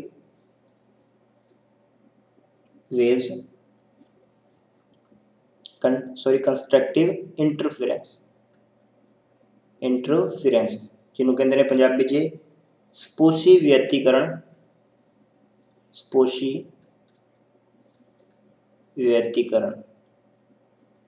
ਤੇ ਦੂਜਾ ਕੇਸ ਹੈਗਾ ਜੀ ਆ, ਇਹਨੂੰ ਬੋਲਦੇ ਨੇ ਡਿਸਟਰਕਟਿਵ ਇੰਟਰਫੀਰੈਂਸ ਡਿਸਟਰਕਟਿਵ ਇੰਟਰਫੀਰੈਂਸ ਜਿਹਨੂੰ ਕਹਿੰਦੇ ਨੇ ਵਿਨਾਸ਼ੀ ਵਿਅਤੀਕਰਨ। ਵਿਨਾਸ਼ੀ ਵਿਅਤੀਕਰਨ। ਤਾਂ ਵੇਵ ਦੇ ਦੋ ਤਰ੍ਹਾਂ ਜਿਹੜੇ ਉਹ ਬਣ ਸਕਦੇ ਨੇ ਇਸ ਤਰ੍ਹਾਂ। ਨੈਕਸਟ ਆਪਾਂ ਪੜ੍ਹਦੇ ਹਾਂ। ਹਾਂਜੀ ਨੈਕਸਟ ਕਰਦੇ ਹਾਂ। ਸਨ 1900 ਦੀ ਗੱਲ। 1900 ਵਿੱਚ ਇੱਕ ਵਿਗਿਆਨਿਕ ਆਏ ਸੀ, ਜਿਨ੍ਹਾਂ ਦਾ ਨਾਮ ਸੀ ਮੈਕਸ ਪਲੈਂਕਸ। ਮੈਕਸ ਪਲੈਂਕਸ ਨਾਂ ਦੇ ਵਿਗਿਆਨਿਕ ਸਨ। ਉਹਨਾਂ ਨੇ ਇੱਕ ਥਿਊਰੀ ਦਿੱਤੀ ਸੀ। quantum theory of light. Quantum theory of light ਇਹਨਾਂ ਨੇ ਦਿੱਤੀ ਸੀ। ਇਹਨਾਂ ਨੇ ਦੱਸਿਆ ਕਿ ਜਿਹੜਾ ਰੋਸ਼ਨੀ ਹੁੰਦੀ ਹੈ, ਉਹ ਇੱਕ ਊਰਜਾ ਦੇ ਰੂਪ ਵਿੱਚ ਹੁੰਦੀ ਹੈ। ਊਰਜਾ ਦੇ ਰੂਪ ਵਿੱਚ ਹੁੰਦੀ ਹੈ ਤੇ ਇੱਕ ਪੈਕੇਟ ਜੇ ਬਣੇ ਹੁੰਦੇ ਨੇ ਜਿਨ੍ਹਾਂ ਨੂੰ ਕਹਿੰਦੇ ਨੇ ਕੁਆਂਟਮ ਤੇ ਇਸ ਤੋਂ ਇਲਾਵਾ ਇਹਨਾਂ ਨੇ ਜਿਹੜੀ એનર્ਜੀ ਦੇ ਇੱਕ ਕਣ ਦੀ ਊਰਜਾ ਦੱਸੀ ਸੀ ਕਿ ਉਸ ਵਿੱਚ ਊਰਜਾ ਕਿੰਨੀ ਹੁੰਦੀ ਹੈ। ਜਿਹੜੀ એનર્ਜੀ ਹੈ, ਉਹ ਛੋਟੇ-ਛੋਟੇ ਕਣਾਂ ਤੋਂ ਬਣੀ ਹੁੰਦੀ ਹੈ, ਰੋਸ਼ਨੀ। ਆਪਾਂ ਗੱਲ ਕਰ ਰਹੇ ਸੀ ਤੇ ਇਹਨਾਂ ਨੇ ਮੈਕਸ ਪਲਾਂਕ ਨੇ ਦੱਸਿਆ ਕਿ ਇੱਕ ਕਣ ਵਿੱਚ ਜਿਹੜੀ એનર્ਜੀ ਉਹ ਕਿੰਨੀ ਹੁੰਦੀ ਹੈ। ਇਹਨਾਂ ਨੇ ਇੱਕ ਇਕੁਏਸ਼ਨ ਦਿੱਤੀ ਸੀ E is equal to H into frequency frequency E ਇੱਥੇ ਹੈਗਾ ਜੀ એનર્ਜੀ ਕਣ ਦੇ ਅੰਦਰ ਤੇ H ਦਾ ਇੱਥੇ ਮਤਲਬ ਹੈਗਾ Planck's constant Planck's constant h ਦਾ ਇੱਥੇ ਮਤਲਬ ਹੈਗਾ ਪਲੈਂਕਸ ਕਨਸਟੈਂਟ ਤੇ ਇਸ ਦੀ ਜਿਹੜੀ ਵੈਲਿਊ ਹੈਗੀ ਹੈ ਉਹ ਹੁੰਦੀ ਹੈ ਜੀ 6.626 into 10 raised to power minus 34 joule per second ਫਿਰ ਤੋਂ ਰਿਪੀਟ ਕਰ ਦਿੰਦੇ ਹਾਂ ਜੀ ਪਲੈਂਕਸ ਕਨਸਟੈਂਟ ਦੀ ਜਿਹੜੀ ਵੈਲਿਊ ਹੈਗੀ ਹੈ 6.626 into 10 raised to power minus 34 joule per second next 1905 ਦੀ ਗੱਲ ਹੈ 1905 ਵਿੱਚ ਇੱਕ ਵਿਗਿਆਨਕ ਆਏ ਸਨ ਆਇਨਸਟੀਨ ਆਇਨਸਟੀਨ ਉਹਨਾਂ ਨੇ ਦੱਸਿਆ ਕਿ ਜਿਹੜਾ ਪ੍ਰਕਾਸ਼ ਹੈ ਉਹ ਛੋਟੇ ਛੋਟੇ ਕਣਾਂ ਨਾਲ ਬਣਿਆ ਹੁੰਦਾ ਹੈ ਪ੍ਰਕਾਸ਼ ਛੋਟੇ ਛੋਟੇ ਕਣਾਂ ਨਾਲ ਜਿਹੜਾ ਬਣਿਆ ਹੁੰਦਾ ਕਣਾਂ ਨਾਲ ਬਣਿਆ ਹੁੰਦਾ ਹੈ। ਤੇ ਇਹਨਾਂ ਨੇ ਇਹ ਵੀ ਦੱਸਿਆ ਕਿ ਇਹਨਾਂ ਦਾ, ਕਣਾਂ ਦਾ ਕੋਈ ਵੀ ਜਿਹੜਾ ਮਾਸ ਹੈ, ਉਹ ਨਹੀਂ ਹੁੰਦਾ। ਜਿਹੜਾ ਕਣਾਂ ਦਾ ਦਰਵਯਮਾਨ ਜਿਹਨੂੰ ਆਪਾਂ ਕਹਿ ਸਕਦੇ ਹਾਂ, ਉਹ ਜਿਹੜਾ ਨਹੀਂ ਹੁੰਦਾ। ਤੇ ਇਹਨਾਂ ਨੇ ਇਸ ਕਣਾਂ ਨੂੰ ਜਿਹੜਾ ਨਾਂ ਦਿੱਤਾ ਸੀ, ਉਹ ਦਿੱਤਾ ਸੀ ਫੋਟੋਨ। ਫੋਟੋਨ ਦਾ ਜਿਹੜਾ ਨਾਂ ਇਹਨਾਂ ਨੇ ਦਿੱਤਾ ਸੀ, ਆਪਣੇ ਇੱਕ ਐਕਸਪੈਰੀਮੈਂਟ ਦੇ ਨਾਲ, ਜਿਹਦਾ ਨਾਂ ਹੈਗਾ ਸੀ photoelectric effect photoelectric effect ਫਿਰ ਤੋਂ ਰਿਪੀਟ ਕਰ ਦਿੰਦੇ ਹਾਂ ਜੀ। 1905 ਵਿੱਚ ਇੱਕ ਵਿਗਿਆਨਕ ਆਏ ਸਨ, ਆਇਨਸਟੀਨ, ਜਿਨ੍ਹਾਂ ਨੇ ਦੱਸਿਆ ਕਿ ਪ੍ਰਕਾਸ਼ ਛੋਟੇ-ਛੋਟੇ ਕਣਾਂ ਨਾਲ ਬਣਿਆ ਹੁੰਦਾ ਹੈ, ਜਿਨ੍ਹਾਂ ਦਾ ਕੋਈ ਵੀ ਮਾਸ ਨਹੀਂ ਹੁੰਦਾ ਤੇ ਉਹਨਾਂ ਕਣਾਂ ਨੂੰ ਇਹਨਾਂ ਨੇ ਨਾਂ ਦਿੱਤਾ ਸੀ ਫੋਟੋਨ ਦਾ। ਆਪਣਾ ਇੱਕ ਐਕਸਪੈਰੀਮੈਂਟ ਕੀਤਾ ਸੀ ਇਹਨਾਂ ਨੇ ਫੋਟੋ ਇਲੈਕਟ੍ਰਿਕ ਇਫੈਕਟ ਦਾ। ਇਸ ਤੋਂ ਬਾਅਦ ਇਸ ਲਈ ਇਹਨਾਂ ਨੂੰ ਜਿਹੜਾ 1922 ਵਿੱਚ ਨੋਬਲ ਪੁਰਸਕਾਰ ਵੀ ਮਿਲਿਆ ਸੀ। ਨੋਬਲ ਪ੍ਰਾਈਜ਼ ਵੀ ਇਹਨਾਂ ਨੂੰ ਮਿਲਿਆ ਸੀ 1922 ਵਿੱਚ। ਲਾਸਟ ਆਂਦਾ ਜੀ 1923 ਜੀ ਲਾਸਟ 1923 ਵਿੱਚ ਇੱਕ ਵਿਗਿਆਨਕ ਆਏ ਸਨ ਜਿਨ੍ਹਾਂ ਦਾ ਨਾਮ ਸੀ ਕੰਪਟਨ। ਇਹਨਾਂ ਨੇ ਆਪਣਾ ਇੱਕ ਇਫੈਕਟ ਦਿੱਤਾ ਸੀ ਲਾਈਟ ਬਾਰੇ ਕੰਪਟਨ ਇਫੈਕਟ ਇਸ ਵਿੱਚ ਇਹਨਾਂ ਨੇ ਦੱਸਿਆ ਕਿ ਜਿਹੜਾ ਰੋਸ਼ਨੀ ਹੁੰਦੀ ਹੈ ਇਹ ਛੋਟੇ ਛੋਟੇ ਕਣਾਂ ਨਾਲ ਬਣੀ ਹੁੰਦੀ ਹੈ ਤੇ ਇਹਨਾਂ ਵਿੱਚ ਕੀ ਹੈ? ਕੋਈ ਨਾ ਕੋਈ ਊਰਜਾ ਹੁੰਦੀ ਹੈ। ਕਿਸੇ ਨਾ ਕਿਸੇ ਤਰ੍ਹਾਂ ਦੀ ਊਰਜਾ ਹੁੰਦੀ ਹੈ ਤੇ ਇਹਨਾਂ ਵਿੱਚ ਚਾਰਜ ਵੀ ਹੁੰਦਾ ਚਾਰਜ ਵੀ ਹੁੰਦਾ ਯਾਨੀ ਕਿ ਪੋਜ਼ਿਟਿਵ ਤੇ 네ਗੇਟਿਵ ਜਿਹੜਾ ਚਾਰਜ ਇਹਨਾਂ ਵਿੱਚ ਹੁੰਦਾ ਇਹ ਦੱਸਿਆ ਸੀ ਕੋਮਟਨ ਇਫੈਕਟ ਵਿੱਚ। ਕੰਪਟਨ ਨਾਂ ਦੇ ਵਿਗਿਆਨਿਕ ਨੇ। ਕਿਸ ਤਰ੍ਹਾਂ ਦਾ ਇਹਨਾਂ ਨੇ ਐਕਸਪੈਰੀਮੈਂਟ ਸੀ? ਦੱਸ ਦਿੰਦੇ ਆ ਇਸ ਤਰ੍ਹਾਂ ਇਹਨਾਂ ਨੇ ਇੱਕ ਟੁਕੜਾ ਲਿੱਤਾ ਸੀ ਗ੍ਰੇਫਾਈਟ ਦਾ। ਗ੍ਰੇਫਾਈਟ ਦਾ ਇੱਕ ਟੁਕੜਾ ਲਿੱਤਾ ਸੀ ਤੇ ਇਸ ਵਿੱਚ ਹਾਈ એનર્ਜੀ ਦੀ ਜਿਹੜੀ ਲਾਈਟ ਆ ਉਹ ਪਾਸ ਕੀਤੀ ਸੀ, ਯਾਨੀ ਕਿ ਐਕਸ-ਰੇ ਜਿਨ੍ਹਾਂ ਦੀ ਊਰਜਾ ਜਿਹੜੀ ਜ਼ਿਆਦਾ ਹੁੰਦੀ ਹੈ, ਉਹ ਇਸ ਵਿੱਚੋਂ ਪਾਸ ਕੀਤੀ ਸੀ। ਤੇ ਊਰਜਾ ਜ਼ਿਆਦਾ ਹੋਏਗੀ ਤਾਂ ਦੀ ਜਿਹੜੀ ਫ੍ਰੀਕੁਐਂਸੀ ਹੈ ਉਹ ਵੀ ਜ਼ਿਆਦਾ ਹੋਵੇਗੀ। ਫ੍ਰੀਕੁਐਂਸੀ ਵੀ ਜ਼ਿਆਦਾ ਹੋਵੇਗੀ। ਆਪਾਂ ਪਹਿਲਾਂ ਡਿਸਕਸ ਕਰ ਚੁੱਕੇ ਹਾਂ ਕਿ ਜਿਸ ਰੇਜ਼ ਵਿੱਚ ਊਰਜਾ ਜ਼ਿਆਦਾ ਹੋਵੇਗੀ ਉਹਦੀ ਫ੍ਰੀਕੁਐਂਸੀ ਵੀ ਜ਼ਿਆਦਾ ਹੋਏਗੀ ਤੇ ਵੇਵਲੈਂਥ ਜਿਹੜੀ ਕੀ ਹੋਏਗੀ, ਉਹ ਕੀ ਹੋਏਗੀ? ਘੱਟ ਹੋਵੇਗੀ ਯਾਨੀ ਕਿ ਤਰੰਗ ਲੰਬਾਈ ਘੱਟ ਹੋਏਗੀ। ਇਸ ਗ੍ਰੇਫਾਈਟ ਵਿੱਚ ਕੀ ਹੈ? ਇਲੈਕਟ੍ਰੋਨ ਤੇ ਪ੍ਰੋਟੋਨ ਆਪਾਂ ਪੜ ਚੁੱਕੇ ਹਾਂ ਕਿ ਕੋਈ ਵੀ ਜਿਹੜਾ ਪਦਾਰਥ ਹੁੰਦਾ ਹੈ, ਉਹਦੇ ਵਿੱਚ ਇਲੈਕਟ੍ਰੋਨ ਤੇ ਪ੍ਰੋਟੋਨ ਜਿਹੜੇ ਕਣ ਉਹ ਸ਼ਾਮਿਲ ਹੁੰਦੇ ਨੇ ਚਾਰਜ ਵਿੱਚ ਹੁੰਦੇ ਨੇ। ਤੇ ਕੀ ਹੋ ਗਿਆ ਸੀ ਕਿ ਜਦੋਂ ਐਕਸ-ਰੇ ਦੇ ਵਿੱਚ ਪਾਸ ਹੋਈ, ਤਾਂ ਉਹ ਜਿਹੜੀ ਕਿਸੇ ਐਂਗਲ ਤੇ ਇਸ ਤਰ੍ਹਾਂ ਮੁੜ ਗਈ ਸੀ। ਮੁੜਨ ਤੋਂ ਬਾਅਦ ਕੀ ਹੋਇਆ? ਇਹਦੀ ਜਿਹੜੀ ਵੇਵਲੈਂਥ ਹੈਗੀ ਹੈ, ਉਹ ਕੀ ਹੋ ਗਈ? ਇਨਕਰੀਜ਼ ਹੋ ਗਈ। ਜਿਹੜੀ ਵੇਵਲੈਂਥ ਸੀ ਇਹਦੀ, ਉਹ ਇਨਕਰੀਜ਼ ਹੋ ਗਈ, ਯਾਨੀ ਕਿ ਤਰੰਗ ਲੰਬਾਈ, ਉਹ ਵੱਧ ਗਈ ਤੇ ਇਹਦੀ ਫ੍ਰੀਕੁਐਂਸੀ ਉਹ ਕੀ ਸੀ? ਘਟ ਗਈ ਸੀ। ਤੇ ਇਹ ਕਿਸ ਦੇ ਕਾਰਨ ਹੋਇਆ? ਜਦੋਂ ਇਹ ਰੇ, ਇਸ ਦੀ ਵਿਚਾਈ ਫਾਈਟ ਵਿੱਚ, ਤਾਂ ਇਸ ਵਿੱਚ ਕੀ ਨੇ? ਇਲੈਕਟ੍ਰੋਨ ਨੇ ਤੇ ਪ੍ਰੋਟੋਨ ਨੇ। ਤੇ ਇਸੇ ਤਰ੍ਹਾਂ ਲਾਈਟ ਵਿੱਚ ਵੀ ਇਲੈਕਟ੍ਰੋਨ ਤੇ ਪ੍ਰੋਟੋਨ ਮੌਜੂਦ ਹੋਣਗੇ। ਕੀ ਹੋਇਆ ਸੀ ਜਿਹੜੇ ਇੱਕੋ ਵਰਗੇ ਹੁੰਦੇ ਨੇ, ਉਹ ਕੀ ਕਰਦੇ ਨੇ, ਇੱਕ ਦੂਜੇ ਨੂੰ ਧਕੇਲਦੇ ਹਨ ਤੇ ਆਪੋਜ਼ਿਟ ਹੁੰਦੇ ਨੇ, ਉਹ ਇੱਕ ਵਾਰ ਇੱਕ ਦੂਜੇ ਨੂੰ ਅਟਰੈਕਟ ਕਰਦੇ ਨੇ। ਚਾਰਜ ਜਿਹੜੇ ਇੱਕੋ ਜਿਹੇ ਹੁੰਦੇ ਨੇ, ਇੱਕ ਦੂਜੇ ਨੂੰ ਧਕੇਲਦੇ ਨੇ ਤੇ ਆਪੋਜ਼ਿਟ ਹੁੰਦੇ ਨੇ, ਜਿਵੇਂ ਪਲੱਸ ਤੇ ਮਾਈਨਸ ਇੱਕ ਦੂਜੇ ਨੂੰ ਆਪਣੇ ਵੱਲ ਅਟਰੈਕਟ ਕਰਦੇ ਨੇ। ਤੇ ਇਸੇ ਤਰ੍ਹਾਂ ਕੀ ਹੋਇਆ ਕਿ ਇਸ ਵਿੱਚ ਕੁਝ ਨਾ ਕੁਝ ਚਾਰਜ ਹੋਵੇਗਾ ਤੇ ਲਾਈਟ ਦੇ ਰੇ ਵਿੱਚ ਵੀ ਕੁਝ ਨਾ ਕੁਝ ਚਾਰਜ ਹੋਵੇਗਾ। ਜਿਸ ਨਾਲ ਇਹ ਧਕੇਲ ਕੇ ਕੀ ਹੋ ਗਿਆ ਦੀ ਜਿਹੜੀ ਵੇਵਲੈਂਥ ਹੈਗੀ ਆ, ਉਹ ਇਨਕਰੀਜ਼ ਹੋ ਗਈ। ਤੇ ਫ੍ਰੀਕੁਐਂਸੀ ਜਿਹੜੀ ਡਿਕਰੀਜ਼ ਹੋ ਗਈ।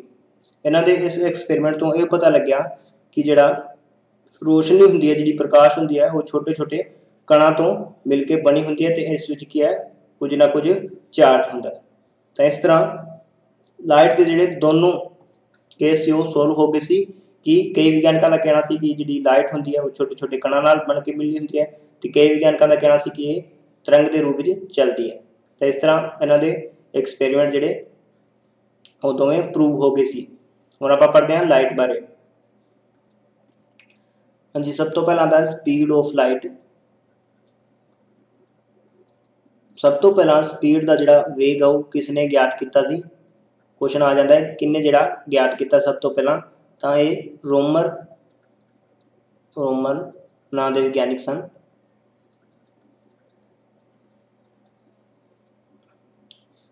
ਰੋਮਨ ਨਾਮ ਦੇ ਵਿਗਿਆਨਿਕ ਸਨ, ਜਿਨ੍ਹਾਂ ਨੇ ਸਭ ਤੋਂ ਪਹਿਲਾਂ ਜਿਹੜੀ ਲਾਈਟ ਦਾ ਵੇਗ ਗਿਆਤ ਕੀਤਾ ਸੀ, ਕਿਵੇਂ ਗਿਆਤ ਕੀਤਾ ਸੀ? ਬ੍ਰਹਸਪਤੀ ਗ੍ਰਹਿ ਦੇ ਉਪਗ੍ਰਹਿਾਂ ਦੀ ਗਤੀ ਤੋਂ। ਜਿਵੇਂ ਆ ਬ੍ਰਹਸਪਤੀ ਗ੍ਰਹਿ ਹੈ ਤੇ ਇਸ ਦੀ ਉਪਗ੍ਰਹਿ ਦੀ ਗਤੀ ਤੋਂ ਇਹਨਾਂ ਨੇ ਜਿਹੜਾ ਸਪੀਡ ਦੀ ਲਾਈਟ ਦਾ ਪਤਾ ਕੀਤਾ ਸੀ। ਕੁਐਸਚਨ ਬਣੇਗਾ ਕਿ ਸਭ ਤੋਂ ਜ਼ਿਆਦਾ ਜਿਹੜੀ ਸਪੀਡ ਦੀ ਲਾਈਟ ਕਿਸ ਵਿੱਚ ਹੁੰਦੀ ਹੈ? ਪ੍ਰਕਾਸ਼ ਦੀ ਚਾਲ ਸਭ ਤੋਂ ਜ਼ਿਆਦਾ ਕਿਸ ਵਿੱਚ ਹੁੰਦੀ ਹੈ? ਕਿਸ ਮਾਧਿਅਮ ਵਿੱਚ ਹੁੰਦੀ ਹੈ? ਤਾਂ ਇਹ ਹੁੰਦੀ ਹੈ ਜੀ ਵੈਕਿਊਮ ਵਿੱਚ, ਯਾਨੀ ਕਿ ਨਿਰਵਾਤ ਵਿੱਚ, ਜਿੱਥੇ ਬਿਲਕੁਲ ਵੀ ਕੀ ਹੈ, ਹਵਾ ਨਾ ਹੋਵੇ, ਉੱਥੇ ਕੀ ਹੈ ਲਾਈਟ ਦੀ ਸਪੀਡ ਸਭ ਤੋਂ ਜ਼ਿਆਦਾ ਹੋਏਗੀ। ਤੁਸੀਂ ਕਨਫਿਊਜ਼ ਨਹੀਂ ਹੋਣਾ ਜੀ ਲਾਈਟ ਤੇ ਸਾਊਂਡ ਵਿੱਚ। ਲਾਈਟ ਤੇ ਸਾਊਂਡ ਵਿੱਚ। ਸਾਊਂਡ ਵਿੱਚ ਕੀ ਹੈਗਾ ਸੀ? ਕਿ ਜਿਵੇਂ ਆ ਕੋਈ ਮਾਧਿਅਮ ਹੈਗਾ, ਇਸ ਵਿੱਚ ਮੋਲੀਕਿਊਲ ਨੇ। ਸਾਊਂਡ ਵਿੱਚ ਉਲਟ ਹੈਗਾ ਕਿ ਜਿਸ ਮਾਧਿਅਮ ਵਿੱਚ ਮੋਲੀਕਿਊਲ ਸਭ ਤੋਂ ਜ਼ਿਆਦਾ ਹੋਣਗੇ ਤੇ ਸਭ ਤੋਂ ਜ਼ਿਆਦਾ ক্লোਜ਼ ਹੋਣਗੇ, ਉਸ ਵਿੱਚ ਸਾਊਂਡ ਦੀ ਸਪੀਡ ਸਭ ਤੋਂ ਜ਼ਿਆਦਾ ਹੋਵੇਗੀ। ਆਪਾਂ ਪੜ ਚੁੱਕੇ ਹਾਂ ਤੇ ਲਾਈਟ ਵਿੱਚ ਇਸ ਦੇ ਉਲਟ ਹੈ ਕਿ ਜਿਸ ਮਾਧਿਅਮ ਵਿੱਚ ਜਿਹੜੇ ਐਟਮ ਮੋਲੀਕਿਊਲ ਨਹੀਂ ਹੋਣਗੇ ਉਸ ਵਿੱਚ ਸਾਊਂਡ ਜਿਹੜੀ ਲਾਈਟ ਦੀ ਸਪੀਡ ਆ ਉਹ ਸਭ ਤੋਂ ਜ਼ਿਆਦਾ ਹੋਏਗੀ ਯਾਨੀ ਕਿ ਨਿਰਵਾਤ ਵਿੱਚ। ਜਿਵੇਂ ਕੋਈ ਮੋਲੀਕਿਊਲਸ ਨੇ ਇਸ ਵਿੱਚ, ਤਾਂ ਜਦੋਂ ਲਾਈਟ ਪਾਸ ਕਰਦੇ ਆ ਤਾਂ ਇਸ ਨਾਲ ਟਕਰਾ ਕੇ ਜਿਹੜੀ ਲਾਈਟ ਦੀ ਸਪੀਡ ਉਹ ਘਟ ਜਾਂਦੀ ਹੈ। ਤੇ ਇਸੇ ਤਰ੍ਹਾਂ ਜੇਕਰ ਇਸ ਵਿੱਚ ਸਾਊਂਡ ਪਾਸ ਕਰਦੇ ਆ ਆਪਾਂ, ਤਾਂ ਮੋਲੀਕਿਊਲਸ ਦੇ ਨਾਲ ਟਕਰਾ ਕੇ ਜਿਹੜੀ ਸਾਊਂਡ ਦੀ ਉਹ ਸਪੀਡ ਹੈ ਜਾਂ ਫਿਰ ਸਾਊਂਡ ਵੱਧ ਜਾਂਦਾ, ਜ਼ਿਆਦਾ ਲਾਊਡ ਹੋ ਜਾਂਦਾ। ਤਾਂ ਇਹ ਗੱਲ ਤੁਸੀਂ ਧਿਆਨ ਰੱਖਣੀ ਹੈ ਲਾਈਟ ਦੀ ਸਪੀਡ ਕਿੱਥੇ ਹੋਵੇਗੀ? ਵੈਕਿਊਮ ਵਿੱਚ। ਤੇ ਸਾਊਂਡ ਦੀ ਸਪੀਡ ਦੀ ਵੈਕਿਊਮ ਦੀ ਗੱਲ ਕਰੀਏ ਤਾਂ ਸਾਊਂਡ ਦੀ ਸਪੀਡ ਵੈਕਿਊਮ ਵਿੱਚ ਜਿਵੇਂ ਵੀ ਨਹੀਂ ਹੁੰਦੀ, ਬਿਲਕੁਲ ਵੀ ਨਹੀਂ ਹੁੰਦੀ। ਸਾਊਂਡ ਦੀ ਸਪੀਡ ਉੱਥੇ ਹੋਵੇਗੀ ਜਿੱਥੇ ਜ਼ਿਆਦਾ ਮੋਲੀਕੂਲ ਹੋਣਗੇ। ਤੇ ਲਾਈਟ ਦੀ ਸਪੀਡ ਉੱਥੇ ਹੋਣਗੀ ਜਿੱਥੇ ਮੋਲੀਕੂਲ ਬਿਲਕੁਲ ਵੀ ਨਹੀਂ ਹੋਣਗੇ।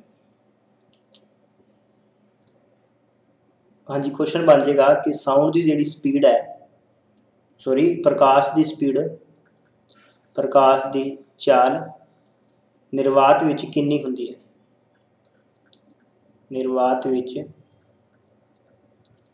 ਕਿੰਨੀ ਹੁੰਦੀ ਹੈ? ਤਾਂ ਇਹ ਹੁੰਦੀ ਹੈ ਜੀ 1 ਲੱਖ 86282 ਮੀਲ ਪਰ ਸੈਕਿੰਡ। ਮਾਈਲਸ ਪਰ ਸੈਕਿੰਡ ਇਸ ਤਰ੍ਹਾਂ ਲਿਖਿਆ ਆ ਸਕਦਾ ਹੈ ਜਾਂ ਫਿਰ ਕਿਲੋਮੀਟਰ ਦੀ ਗੱਲ ਕਰੀਏ ਤਾਂ ਇਸ ਤਰ੍ਹਾਂ ਲਿਖਿਆ ਆਵੇਗਾ 2 ਲੱਖ 99792 ਕਿਲੋਮੀਟਰ ਪ੍ਰਤੀ ਘੰਟਾ। ਜਾਂ ਫਿਰ ਤੁਹਾਡੇ ਕੋਲੋਂ ਇਸ ਤਰ੍ਹਾਂ ਲਿਖਿਆ ਵੀ ਆ ਸਕਦਾ ਹੈ। 3 into 10 raised to power 8 metre per second ਇਸ ਤਿੰਨ ਤਰੀਕਿਆਂ ਨਾਲ ਲਿਖਿਆ ਤੁਹਾਡੇ ਕੋਲ ਆ ਸਕਦਾ ਹੈ ਕਿ ਪ੍ਰਕਾਸ਼ ਦੀ ਜਿਹੜੀ ਚਾਲ ਹੈ ਉਹ ਕਿੰਨੀ ਹੁੰਦੀ ਹੈ। ਇਸ ਤੋਂ ਇਲਾਵਾ ਜੇਕਰ ਗੱਲ ਕਰੀਏ ਪਾਣੀ ਵਿੱਚ ਪਾਣੀ ਵਿੱਚ ਚਾਲ ਕਿੰਨੀ ਹੁੰਦੀ ਹੈ, ਤਾਂ ਪਾਣੀ ਵਿੱਚ ਹੁੰਦੀ ਹੈ ਜੀ 2.25 into 10 ਦੀ ਪਾਵਰ 8 ਮੀਟਰ ਪਰ ਸੈਕਿੰਡ ਇਸ ਤੋਂ ਇਲਾਵਾ ਕੱਚ 'ਚ ਆਪਾਂ ਗੱਲ ਕਰੀਏ, ਕੱਚ 'ਚ ਇਹਦੀ ਸਪੀਡ ਕਿੰਨੀ ਹੁੰਦੀ ਹੈ?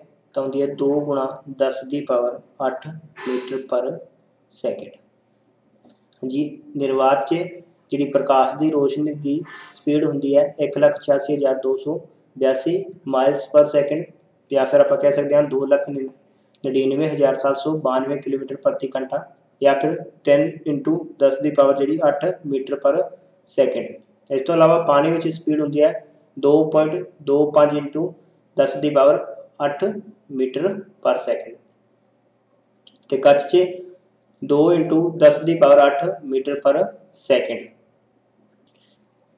ਇਸ ਤੋਂ ਇਲਾਵਾ ਜੇ ਗੱਲ ਕਰੀਏ ਪ੍ਰਕਾਸ਼ ਦੀ ਸਪੀਡ ਤਾਰਪਿਨ ਦੇ ਤੇਲ ਵਿੱਚ ਕਿੰਨੀ ਹੁੰਦੀ ਹੈ? ਤਾਰਪਿਨ ਦੇ ਤੇਲ ਵਿੱਚ ਤਾਂ ਇਹ ਹੈਗੀ ਹੈ ਜੀ 2.04 ਇਨਟੂ 10 ਦੀ ਪਾਵਰ 8 ਮੀਟਰ ਪਰ ਸੈਕਿੰਡ ਜੇਕਰ ਪੁੱਛਿਆ ਜਾਵੇ ਨਾਈਲੋਨ ਵਿੱਚ ਨਾਈਲੋਨ ਵਿੱਚ ਇਹਦੀ ਸਪੀਡ ਕਿੰਨੀ ਹੁੰਦੀ ਹੈ? ਤਾਂ ਇਹ ਹੁੰਦੀ ਹੈ ਜੀ 1.96 ਇਨਟੂ 10 ਦੀ ਪਾਵਰ 8 ਮੀਟਰ ਪਰ ਸੈਕਿੰਡ ਅੱਛਾ, ਇੱਕ ਕੁਐਸਚਨ ਇਹ ਵੀ ਪੁੱਛਿਆ ਜਾ ਸਕਦਾ ਹੈ ਕਿ ਸੂਰਜ ਤੋਂ ਧਰਤੀ ਤੱਕ ਪ੍ਰਕਾਸ਼ ਦੇ ਪਹੁੰਚਣ ਦਾ ਸਮਾਂ ਕਿੰਨਾ ਹੁੰਦਾ ਹੈ? ਸੂਰਜ ਤੋਂ ਧਰਤੀ ਤੱਕ। ਜਿਹੜਾ ਪ੍ਰਕਾਸ਼ ਦਾ ਪਹੁੰਚਣ ਦਾ ਸਮਾਂ ਲੱਗਦਾ ਉਹ ਕਿੰਨਾ ਹੁੰਦਾ ਹੈ? 8 ਮਿੰਟ 19 ਸੈਕਿੰਡ। 8 ਮਿੰਟ ਤੇ 19 ਸੈਕਿੰਡ। ਇਹ ਕੁਐਸਚਨ ਹੋਰ ਵੀ ਬੰਦਾ ਹੈ ਕਿ ਚੰਦਰਮਾ ਤੋਂ ਚੰਦਰਮਾ ਤੋਂ ਧਰਤੀ ਤੱਕ, ਚੰਦਰਮਾ ਤੋਂ ਧਰਤੀ ਤੱਕ ਦਾ ਜਿਹੜਾ ਪ੍ਰਕਾਸ਼ ਹੈ, ਉਹ ਕਿੰਨੇ ਟਾਈਮ ਨਾਲ ਪਹੁੰਚਦਾ ਹੈ? ਤਾਂ ਇਹ ਪਹੁੰਚਦਾ ਜੀ 1 ਮਿੰਟ 28 ਸੈਕਿੰਡ ਵਿੱਚ। ਯਾਨੀ ਕਿ ਇਹਦੀ ਸਪੀਡ ਹੈ ਜਿਹੜੀ ਬਹੁਤ ਜ਼ਿਆਦਾ ਹੁੰਦੀ ਹੈ। ਨੈਕਸਟ ਆਪਾਂ ਪੜਾਂਗੇ ਕਿ ਜਿਹੜਾ ਪ੍ਰਕਾਸ਼ ਹੁੰਦਾ ਹੈ, ਪ੍ਰਕਾਸ਼ ਹਮੇਸ਼ਾ ਇੱਕ ਸਰਲ ਰੇਖਾ ਵਿੱਚ ਚੱਲਦਾ ਹੈ।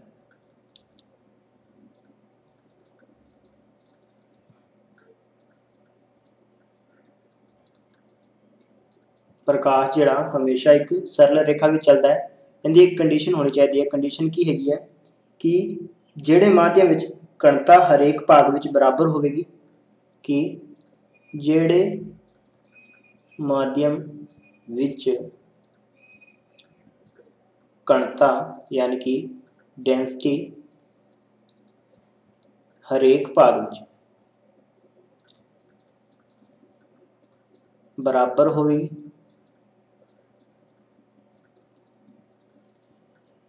ਉਸ ਮਾਧਿਅਮ ਵਿੱਚ ਜਿਹੜਾ ਪ੍ਰਕਾਸ਼ ਹੈ ਉਹ ਸਰਲ ਰੇਖਾ ਵਿੱਚ ਚੱਲੇਗਾ। ਪ੍ਰਕਾਸ਼ ਇੱਕ ਸਰਲ ਰੇਖਾ ਵਿੱਚ ਚੱਲੇਗਾ। ਇਹਦੀਆਂ ਕੁਝ ਐਗਜ਼ਾਮਪਲ ਨੇ, ਜਿਵੇਂ ਫਰਸਟ ਹੈਗੀ ਹੈ ਪਿਨ ਹੋਲ ਕੈਮਰੇ ਦੀ। ਪਿਨ ਹੋਲ ਕੈਮਰਾ ਐਕਸਪੈਰੀਮੈਂਟ ਕੀਤੇ ਹੋਏ ਨੇ ਪਿਨ ਹੋਲ ਕੈਮਰੇ ਦੀ।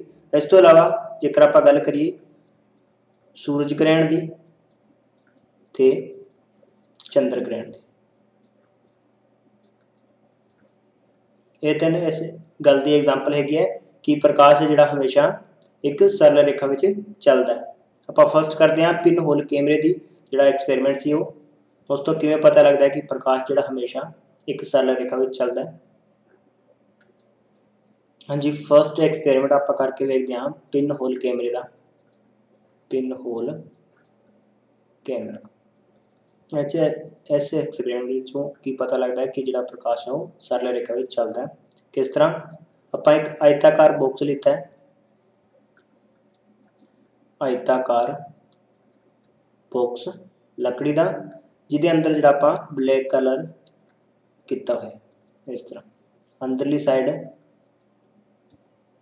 ਜਿਹੜਾ ਕਲਰ ਆਪਾਂ ਬਲੈਕ ਕਲਰ ਕੀਤਾ ਜਿਹੜੀ ਪਿਛਲੀ ਸਾਈਡ ਹੈ, ਉਹ ਸਾਈਡ ਕੀ ਹੈਗੀ ਹੈ? ਆਪਾਂ ਇੱਕ ਕਾਗਜ਼ ਲਾਇਆ ਜਿਹਦੇ ਉੱਤੇ ਤੇਲ ਲੱਗਿਆ ਹੈ। ਜਾਂ ਫਿਰ ਤੇਲ ਲੱਗਿਆ ਕਾਗਜ਼। ਇਹ ਸਾਈਡ ਆਪਾਂ ਤੇਲ ਲੱਗਿਆ ਹੋਇਆ, ਕਾਗਜ਼ ਲਾਤਾ। ਤੇ ਇੱਥੇ ਆਪਾਂ ਇੱਕ ਛੋਟਾ ਜਿਹਾ ਹੋਲ ਕਰਤਾ। ਛੋਟਾ ਜਿਹਾ ਆਪਾਂ ਇੱਥੇ ਹੋਲ ਕਰਤਾ। ਤੇ ਇਸ ਦੇ ਸਾਹਮਣੇ ਆਪਾਂ ਇਸ ਤਰ੍ਹਾਂ ਵਸਤੂ ਰੱਖਤੀ। ਆ ਜਿਵੇਂ ਵਸਤੂ ਹੈ ਪੁਆਇੰਟ A ਤੇ ਪੁਆਇੰਟ B ਜਦੋਂ ਆਪਾਂ ਇਸ ਵਸਤੂ ਦੇ ਪਿੱਛੋਂ ਲਾਈਟ ਇਸ ਤਰ੍ਹਾਂ ਪਾਸ ਕਰਾਂਗੇ ਤੇ ਇਸ ਹੋਲ ਦੇ ਵਿੱਚੋਂ ਜਾ ਕੇ ਇਸ ਤਰ੍ਹਾਂ ਬਣੇਗੀ। ਦੂਜੀ ਤਰ੍ਹਾਂ ਪੁਆਇੰਟ B ਤੋਂ ਇਸ ਤਰ੍ਹਾਂ। ਤੇ ਅੰਦਰ ਜਿਹੜੀ ਵਸਤੂ ਦੀ ਇਮੇਜ ਬਣੇਗੀ ਆ ਹੈਗੀ ਸੀ ਪੁਆਇੰਟ A ਤੋਂ B ਤੱਕ। ਇਸ ਵਿੱਚ ਉਲਟ ਹੋ ਜਾਏਗਾ। B ਡੈਸ਼ ਤੋਂ A ਡੈਸ਼ ਫਿਰ ਤੋਂ ਐਕਸਪਲੇਨ ਕਰਦੇ ਹਾਂ ਪਿਨ ਹੋਲ ਕੈਮਰੇ ਦਾ ਐਕਸਪੈਰੀਮੈਂਟ ਕੀ ਆਪਾਂ ਇੱਕ ਲੱਕੜੀ ਦਾ ਆਇਤਾਕਾਰ ਬਾਕਸ ਲਿੱਤਾ ਤੇ ਅੰਦਰਲੀ ਸਾਈਡ ਆਪਾਂ ਜਿਹੜਾ ਇਹਦਾ ਕਲਰ ਕਰਤਾ ਬਲੈਕ ਤੇ ਪਿਛਲੀ ਸਾਈਡ ਆਪਾਂ ਇੱਕ ਤੇਲ ਲੱਗਿਆ ਕਾਗਜ਼ ਲਾਤਾ ਜਿਹਦੇ ਉੱਤੇ ਆਪਾਂ ਕੀ ਹੈ ਇਮੇਜ ਬਣੇਗੀ। ਜਦੋਂ ਆਪਾਂ ਸਾਹਮਣੇ ਵਸਤੂ ਦੇ ਪਿੱਛੋਂ ਆਪਾਂ ਲਾਈਟ ਜਿਹੜੀ ਰੋਸ਼ਨੀ ਪਾਸ ਕਰਦੇ ਹਾਂ,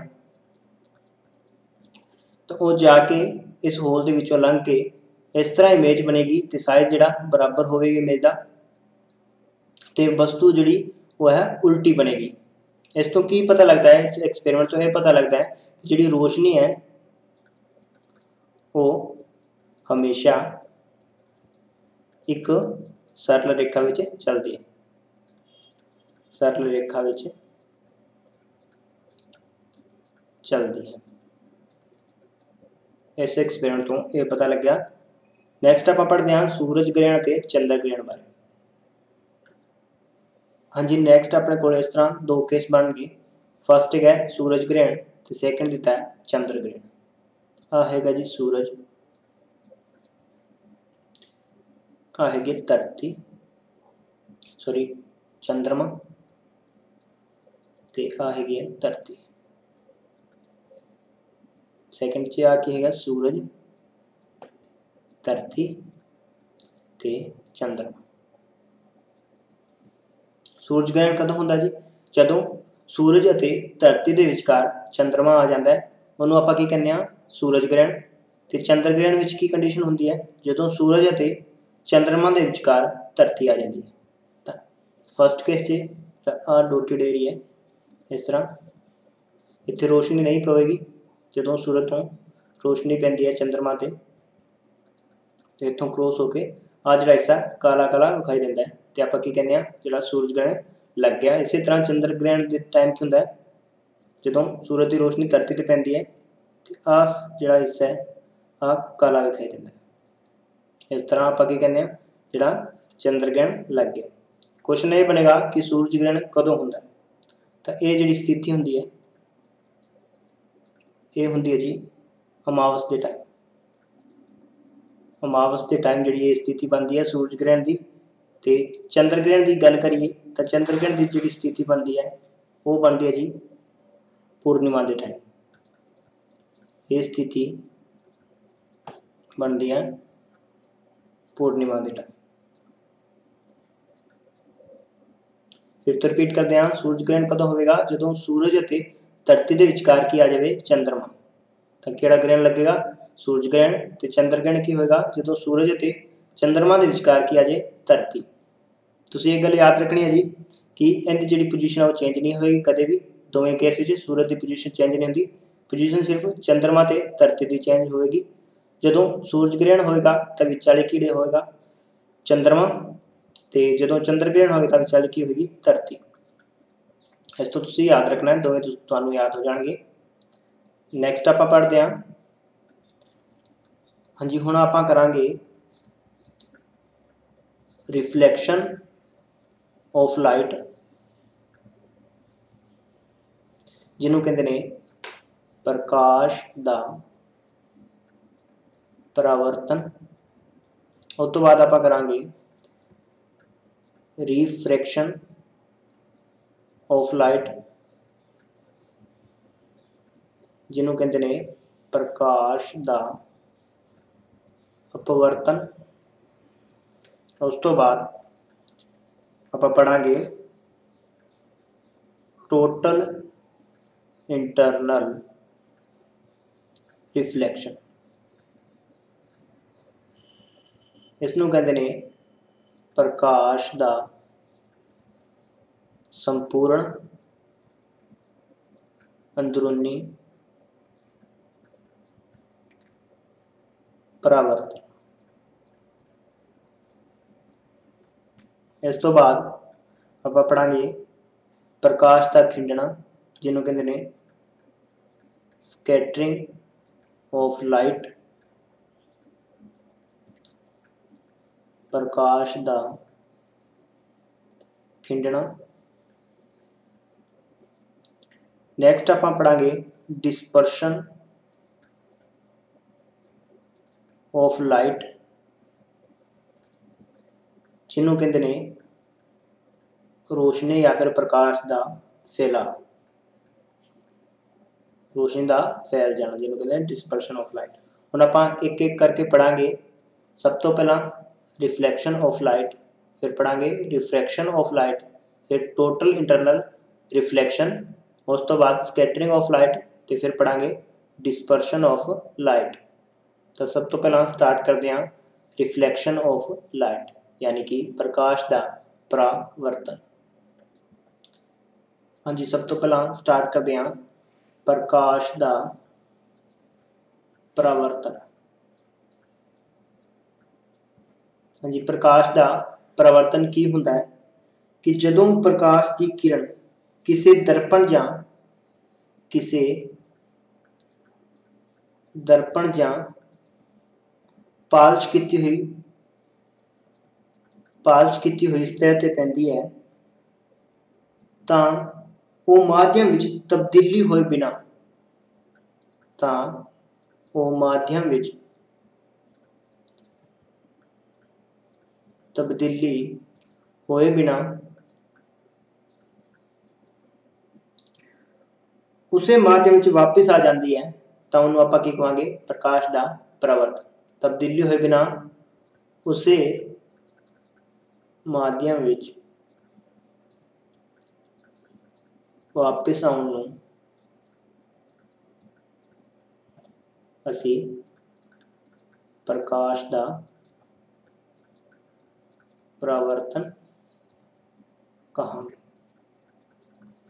ਫਿਰ ਤੋਂ ਰਿਪੀਟ ਕਰਦਾ ਹਾਂ ਕਿ ਜਦੋਂ ਪ੍ਰਕਾਸ਼ ਦੀ ਕਿਰਨ ਕਿਸੇ ਦਰਪਣ ਜਾਂ ਪਾਲਿਸ਼ ਕੀਤੇ ਹੋਏ ਸਤਹ ਤੇ ਪੈਂਦੀ ਹੈ ਤੇ ਉਹ ਆਪਣਾ ਮਾਧਿਅਮ ਦੀ ਤਬਦੀਲੀ ਕੀਤੇ ਬਿਨਾ, ਮਤਲਬ ਮਾਧਿਅਮ ਬਦਲੇ ਬਿਨਾ ਜਦੋਂ ਉਹ ਪ੍ਰਕਾਸ਼ ਵਾਪਸ ਆ ਜਾਂਦਾ ਹੈ, ਤਾਂ ਉਸ ਨੂੰ ਆਪਾਂ ਕੀ ਕਹਾਂਗੇ ਪ੍ਰਕਾਸ਼ ਦਾ ਪਰਾਵਰਤਨ। ਜਾਂ ਫਿਰ ਸੈਕੰਡ ਡੈਫੀਨੇਸ਼ਨ ਜਾਂ ਆਪਾਂ ਕਹਿ ਸਕਦੇ ਹਾਂ ਕਿ ਪ੍ਰਕਾਸ਼ ਦੀ ਉਹ ਕਿਰਨ ਜੋ ਪਰਿਵਰਤਨ ਤੋਂ ਬਾਅਦ ਵਾਪਸ ਮੁੜ ਆਵੇ ਉਸ ਨੂੰ ਆਪਾਂ ਕੀ ਕਹਾਂਗੇ ਪ੍ਰਕਾਸ਼ ਦਾ ਪਰਿਵਰਤਨ। ਡਾਇਗ੍ਰਾਮ ਨਾਲ ਸਮਝਿਆ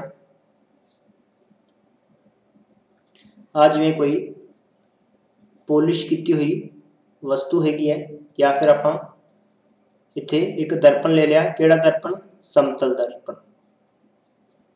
ਸਮਤਲ ਦਰਪਣ।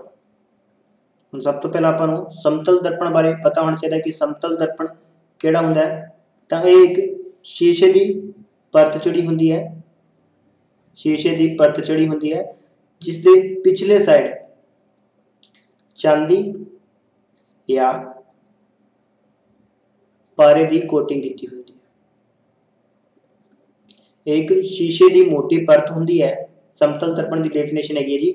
ਸ਼ੀਸ਼ੇ ਦੀ ਇੱਕ ਮੋਟੀ ਪਰਤ ਹੁੰਦੀ ਹੈ ਜਿਸ ਦੇ ਬੈਕ ਸਾਈਡ ਜਿਹੜੀ ਕੀ ਹੈ, ਚਾਂਦੀ ਆ ਪਾਰੇ ਦੀ ਜਿਹੜੀ ਕੋਟਿੰਗ ਕੀਤੀ ਹੁੰਦੀ ਹੈ, ਉਹਨੂੰ ਆਪਾਂ ਕੀ ਕਹਾਂਗੇ ਸਮਤਲ ਦਰਪਣ। ਤੇ ਇੱਥੇ ਆਪਾਂ ਕੀ ਲਿੱਤਾ, ਇੱਕ ਸਮਤਲ ਦਰਪਣ ਲਿੱਤਾ ਹੈ। ਉਸ ਤੋਂ ਬਾਅਦ ਆ ਹੈਗਾ ਜੀ ਅਬਿਲੰਬ ਨੋਰਮਲ ਜਿਹਨੂੰ ਆਪਾਂ ਕਹਿ ਦਿੰਦੇ ਆ ਤੇ ਜਦੋਂ ਇਸ ਸਾਈਡ ਪ੍ਰਕਾਸ਼ ਆਵੇਗਾ, ਇਸ ਤਰ੍ਹਾਂ, ਤੇ ਉਹ ਪਰਿਵਰਤਿਤ ਹੋ ਕੇ ਇਸ ਸਾਈਡ ਚਲਾ ਜਾਵੇਗਾ। ਜਦੋਂ ਪ੍ਰਕਾਸ਼ ਦੀ ਕਿਰਨ ਇੱਕ ਸਮਤਲ ਦਰਪਣ ਤੇ ਪਵੇਗੀ, ਤਾਂ ਉਹ ਪਰਿਵਰਤਿਤ ਹੋ ਕੇ ਇਸ ਸਾਈਡ ਚਲੀ ਜਾਵੇਗੀ ਇੱਥੇ ਦੋ ਐਂਗਲ ਬਣਨਗੇ। ਆ ਐਂਗਲ ਹੈਗਾ ਫਰਸਟ ਜਿਹੜਾ ਐਂਗਲ ਆਫ ਆਰ ਇਹਨੂੰ ਆਪਾਂ ਕੀ ਕਹਾਂਗੇ? ਐਂਗਲ ਆਫ ਰਿਫਲੈਕਸ਼ਨ ਆਰ ਦਾ ਕੀ ਮਤਲਬ ਹੈ ਐਂਗਲ ਆਫ ਰਿਫਲੈਕਸ਼ਨ ਯਾਨੀ ਕਿ ਆ ਕਿਹੜਾ ਐਂਗਲ ਹੈਗਾ, ਜਿਹੜਾ ਪਰਿਵਰਤਿਤ ਕੋਣ, ਪਰਾਵਰਤਿਤ ਕੋਣ। ਤੇ ਦੂਜੀ ਸਾਈਡ ਆ ਹੈਗਾ ਜੀ ਐਂਗਲ ਆਈ ਇਹਨੂੰ ਕਹਿੰਦੇ ਨੇ angle of incident angle of incident Punjabi ਚ ਕਹਿੰਦੇ ਨੇ ਆਪਤਨ ਕੋਣ ਆ ਹੋਵੇਗਾ ਜੀ ਆਪਤਨ ਕੋਣ ਐਂਗਲ ਆਫ ਇਨਸੀਡੈਂਸ ਤੇ ਸੈਕੰਡ ਥਾਂ ਐਂਗਲ ਆਫ ਰਿਫਲੈਕਸ਼ਨ ਇਸ ਵਿੱਚ ਕੀ ਹੋਏਗਾ ਦੋ ਇਸ ਦੇ ਨਿਯਮ ਹੈਗੇ ਨੇ ਉਹ ਆਪਾਂ ਕਰ ਲਈਏ ਆ ਸੌਰੀ ਮੈਂ ਉਲਟ ਬਣਾਤਾ ਇਸ ਸਾਈਡ ਜਿਹੜੀ ਲਾਈਟ ਹੈ ਉਹ ਆਵੇਗੀ ਆ ਹੋਵੇਗਾ ਐਂਗਲ ਆਫ ਇਨਸੀਡੈਂਟ ਤੇ ਆ ਹੋਵੇਗਾ ਜਿਹੜਾ ਪਰਿਵਰਤਿਤ ਹੋ ਕੇ ਚਲੇਗੀ, ਇਹਨੂੰ ਕਹਿੰਦੇ ਨੇ ਪਰਿਵਰਤਿਤ ਕੋਣ ਐਂਗਲ ਆਫ ਰਿਫਲੈਕਸ਼ਨ ਇਸ ਸਾਈਡ ਨਹੀਂ ਆਵੇਗੀ, ਇਸ ਸਾਈਡ ਲਾਈਟ ਆਵੇਗੀ ਤੇ ਇਸ ਸਾਈਡ ਚਲੀ ਜਾਵੇਗੀ। ਤਾਂ ਇਸ ਦੇ ਦੋ ਜਿਹੜੇ ਨਿਯਮ ਹੈਗੇ ਨੇ ਫਰਸਟ ਕੀ ਕਹਿੰਦਾ ਹੈ? ਕਿ ਜਿਹੜਾ ਐਂਗਲ ਆਫ ਇਨਸੀਡੈਂਸ ਹੋਵੇਗਾ, ਜਿਹੜਾ ਐਂਗਲ ਆਈ ਹੋਵੇਗਾ, ਉਹ ਬਰਾਬਰ ਹੋਵੇਗਾ ਐਂਗਲ ਆਰ ਦੇ। ਫਸਟ ਜਿਹੜਾ ਇਹਦਾ ਲਾ ਹੈਗਾ ਕਿ ਜਿਹੜਾ ਆਪਤਨ ਕੋਣ, ਪਰਿਵਰਤਿਤ ਕੋਣ ਦੇ ਬਰਾਬਰ ਹੋਵੇਗਾ। ਜਿਹੜਾ ਆਪਤਨ ਕੋਣ ਹੋਵੇਗਾ, ਉਹ ਪਰਿਵਰਤਿਤ ਕੋਣ ਦੇ ਬਰਾਬਰ ਹੋਵੇਗਾ। ਫਸਟ ਨਿਯਮ ਇਹਦਾ ਆ ਕਹਿੰਦਾ ਤੇ ਸੈਕੰਡ ਜਿਹੜਾ ਇਹਦਾ ਨਿਯਮ ਕੀ ਹੈਗਾ, ਕਿ ਇਹ ਜਿਹੜੀ ਤਿੰਨੋਂ ਘਟਨਾ ਹੋਵੇਗੀ, ਉਹ ਇੱਕ ਇੱਕ ਹੀ ਪਲੇਨ ਤੇ ਹੋਵੇਗੀ। ਯਾਨੀ ਕਿ ਆਪਤਨ ਕੋਣ, ਪਰਿਵਰਤਿਤ ਕੋਣ ਤੇ ਇਹਨੂੰ ਕਹਿੰਦੇ ਨੇ ਅਭਿਲੰਬ। ਅਭਿਲੰਬ। ਇਹ ਤਿੰਨੋਂ ਜਿਹੜੀ ਘਟਨਾ ਹੋਵੇਗੀ, ਉਹ ਇੱਕ ਸਮਤਲ ਪਲੇਨ ਤੇ ਹੋਵੇਗੀ, ਇੱਕ ਹੀ ਪਲੇਨ ਤੇ ਹੋਵੇਗੀ। ਜਾਂ ਪਰ ਆਪਾਂ ਕਹਿ ਸਕਦੇ ਹਾਂ ਕਿ ਆਪਾਤੀ ਕਿਰਨ ਆਪਾਤੀ ਕਿਰਣ, ਪਰਿਵਰਤਿਤ ਕਿਰਣ,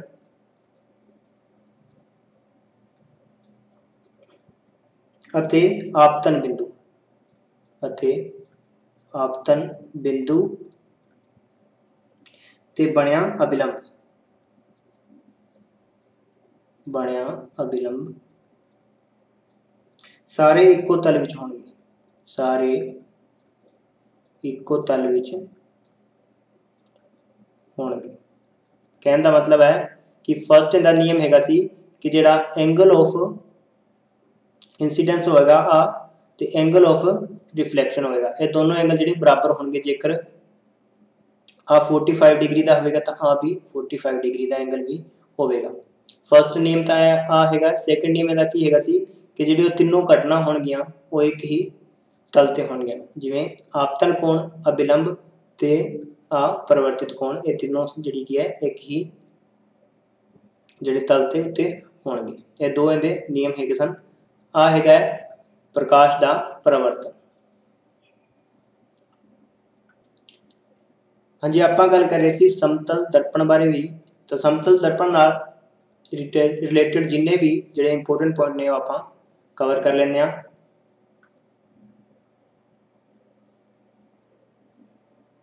ਹਾਂਜੀ, ਸਮਤਲ ਦਰਪਣ ਦੇ ਨਾਲ ਰਿਲੇਟਡ ਆ ਜਿਹੜੇ ਪੁਆਇੰਟ ਨੇ ਤੁਸੀਂ ਯਾਦ ਰੱਖਣੇ ਨੇ। ਵੈਰੀ ਵੈਰੀ ਇੰਪੋਰਟੈਂਟ ਨੇ। ਸਮਤਲ ਦਰਪਣ ਦੀ ਡੈਫੀਨੇਸ਼ਨ ਆਪਾਂ ਪਹਿਲਾਂ ਹੀ ਪੜ ਚੁੱਕੇ ਹਾਂ ਕਿ ਇੱਕ ਸ਼ੀਸ਼ੇ ਦੀ ਮੋਟੀ ਪਰਤ ਤੇ ਉਸੇ, ਉਸਦੇ ਬੈਕ ਸਾਈਡ ਚਾਂਦੀ ਜਾਂ ਫਿਰ ਪਾਰੇ ਦੀ ਕੋਟਿੰਗ ਕੀਤੀ ਹੁੰਦੀ ਹੈ, ਉਹਨੂੰ ਆਪਾਂ ਕੀ ਕਹਾਂਗੇ? ਸਮਤਲ ਦਰਪਣ। ਤਾਂ ਫਸਟ ਜਿਹੜੀ ਇੰਪੋਰਟੈਂਟ ਪੁਆਇੰਟ ਹੈਗਾ ਇਹਦਾ ਪੜ ਲਈਏ। ਵਸਤੂ ਦਾ ਪ੍ਰਤਿਬਿੰਬ ਦਰਪਣ ਦੇ ਪਿੱਛੇ ਉਨੀ ਹੀ ਦੂਰੀ ਤੇ ਬਣੇਗਾ ਜਿੰਨੀ ਦੂਰੀ ਤੇ ਵਸਤੂ ਪਈ ਹੈ। ਤਾਂ ਫਰਸਟ ਪੁਆਇੰਟ ਕੀ ਕਹਿੰਦਾ ਹੈ? ਜਿਵੇਂ ਆ ਕੋਈ ਦਰਪਣ ਪਿਆ ਹੈ ਤੇ ਆ ਵਸਤੂ ਪਈ ਹੈ। ਕਹਿੰਦਾ ਹੈ ਕਿ ਵਸਤੂ ਦਾ ਪ੍ਰਤਿਬਿੰਬ ਦਰਪਣ ਦੇ ਪਿੱਛੇ ਉਨੀ ਹੀ ਦੂਰੀ ਤੇ ਬਣੇਗਾ ਜਿੰਨੀ ਦੂਰੀ ਤੇ ਆ ਵਸਤੂ ਉਹਦੇ ਸਾਹਮਣੇ ਪਈ ਹੈ। ਨੈਕਸਟ ਪੁਆਇੰਟ ਕੀ ਕਹਿੰਦਾ ਹੈ? ਜੇਕਰ ਕੋਈ ਵਸਤੂ ਦਰਪਣ ਵੱਲ v ਵੇਗ ਨਾਲ ਆ ਰਹੀ ਹੈ ਤਾਂ ਉਹ ਦਰਪਣ ਵਿੱਚ 2v ਵੇਗ ਨਾਲ ਆਉਂਦੀ ਹੋਈ ਵਿਖਾਈ ਦੇਵੇਗੀ। ਕਹਿਣ ਦਾ ਮਤਲਬ ਹੈ, ਜੇਕਰ ਆ ਕੋਈ ਦਰਪਣ ਹੈ ਤੇ ਇਸ ਦੇ ਸਾਹਮਣੇ ਕੋਈ ਵਿਅਕਤੀ ਆ ਰਿਹਾ ਇਸ ਵਾਰ। ਜਿਵੇਂ ਦੀ ਸਪੀਡ ਹੈ 5 ਕਿਲੋਮੀਟਰ ਪ੍ਰਤੀ ਘੰਟਾ।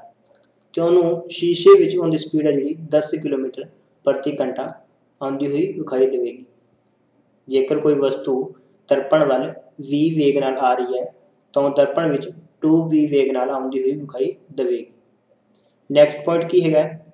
ਵਸਤੂ ਦਾ ਪੂਰਾ ਪ੍ਰਤੀਬਿੰਬ ਵੇਖਣ ਲਈ ਦਰਪਣ ਦਾ ਸਾਈਜ਼ ਘੱਟੋ ਘੱਟ ਵਸਤੂ ਦੇ ਸਾਈਜ਼ ਤੋਂ ਅੱਧਾ ਹੋਣਾ ਚਾਹੀਦਾ ਯਾਨੀ ਕਿ ਆ ਕੋਈ ਵਿਅਕਤੀ ਹੈ, ਇਹਨੇ ਆਪਣੀ ਤਸਵੀਰ ਵੇਖਣੀ ਹੈ ਸ਼ੀਸ਼ੇ ਦੇ ਅੰਦਰ ਪੂਰੀ, ਤਾਂ ਕੀ ਹੋਣਾ ਚਾਹੀਦਾ ਹੈ ਕਿ ਉਹਦੇ ਸਾਈਜ਼ ਦੇ ਘੱਟੋ ਘੱਟ ਅੱਧੇ ਸਾਈਜ਼ ਦੇ ਬਰਾਬਰ ਦਰਪਣ ਹੋਣਾ ਚਾਹੀਦਾ ਤਾਂ ਕਿ ਉਹ ਆਪਣੀ ਪੂਰੀ ਤਸਵੀਰ ਹੈ ਜਿਹੜੀ ਹੈ, ਉਹ ਦਰਪਣ ਵਿੱਚ ਵੇਖ ਸਕਦਾ ਹੈ।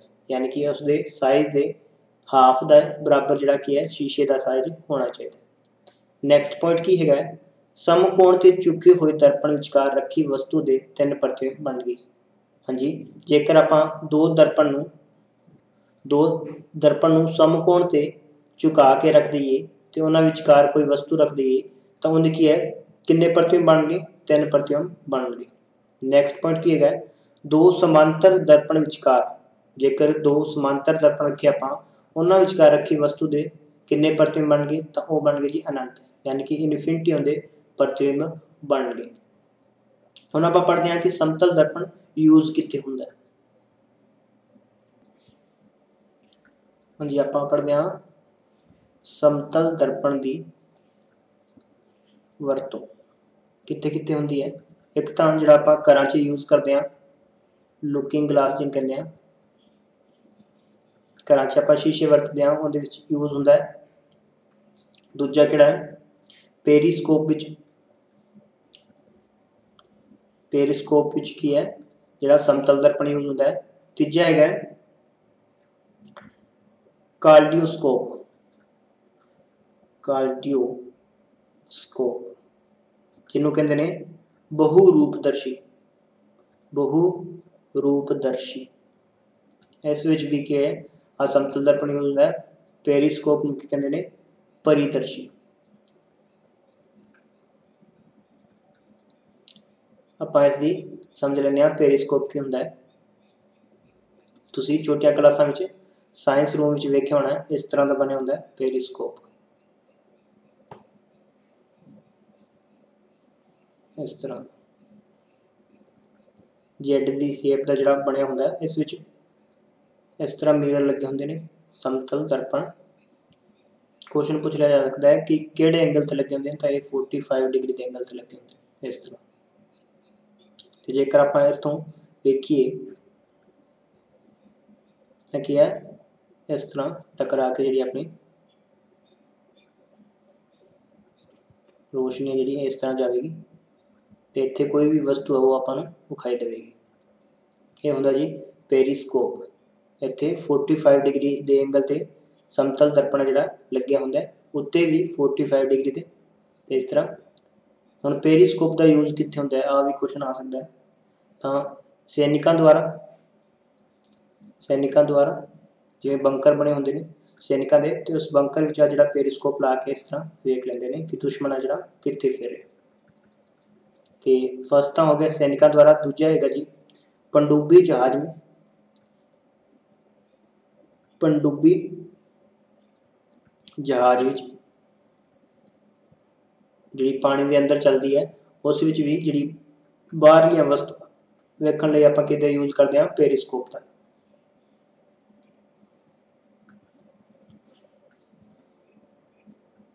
ਹਾਂਜੀ, ਸਮਤਲ ਦਰਪਣ ਪੜਿਆ ਹੈ ਤਾਂ ਆਪਾਂ ਗੋਲਾਕਾਰ ਦਰਪਣ ਵੀ ਪੜ ਲਈਏ।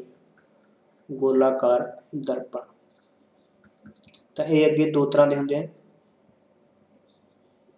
ਅਵਤਲ ਤੇ ਉੱਤਲ।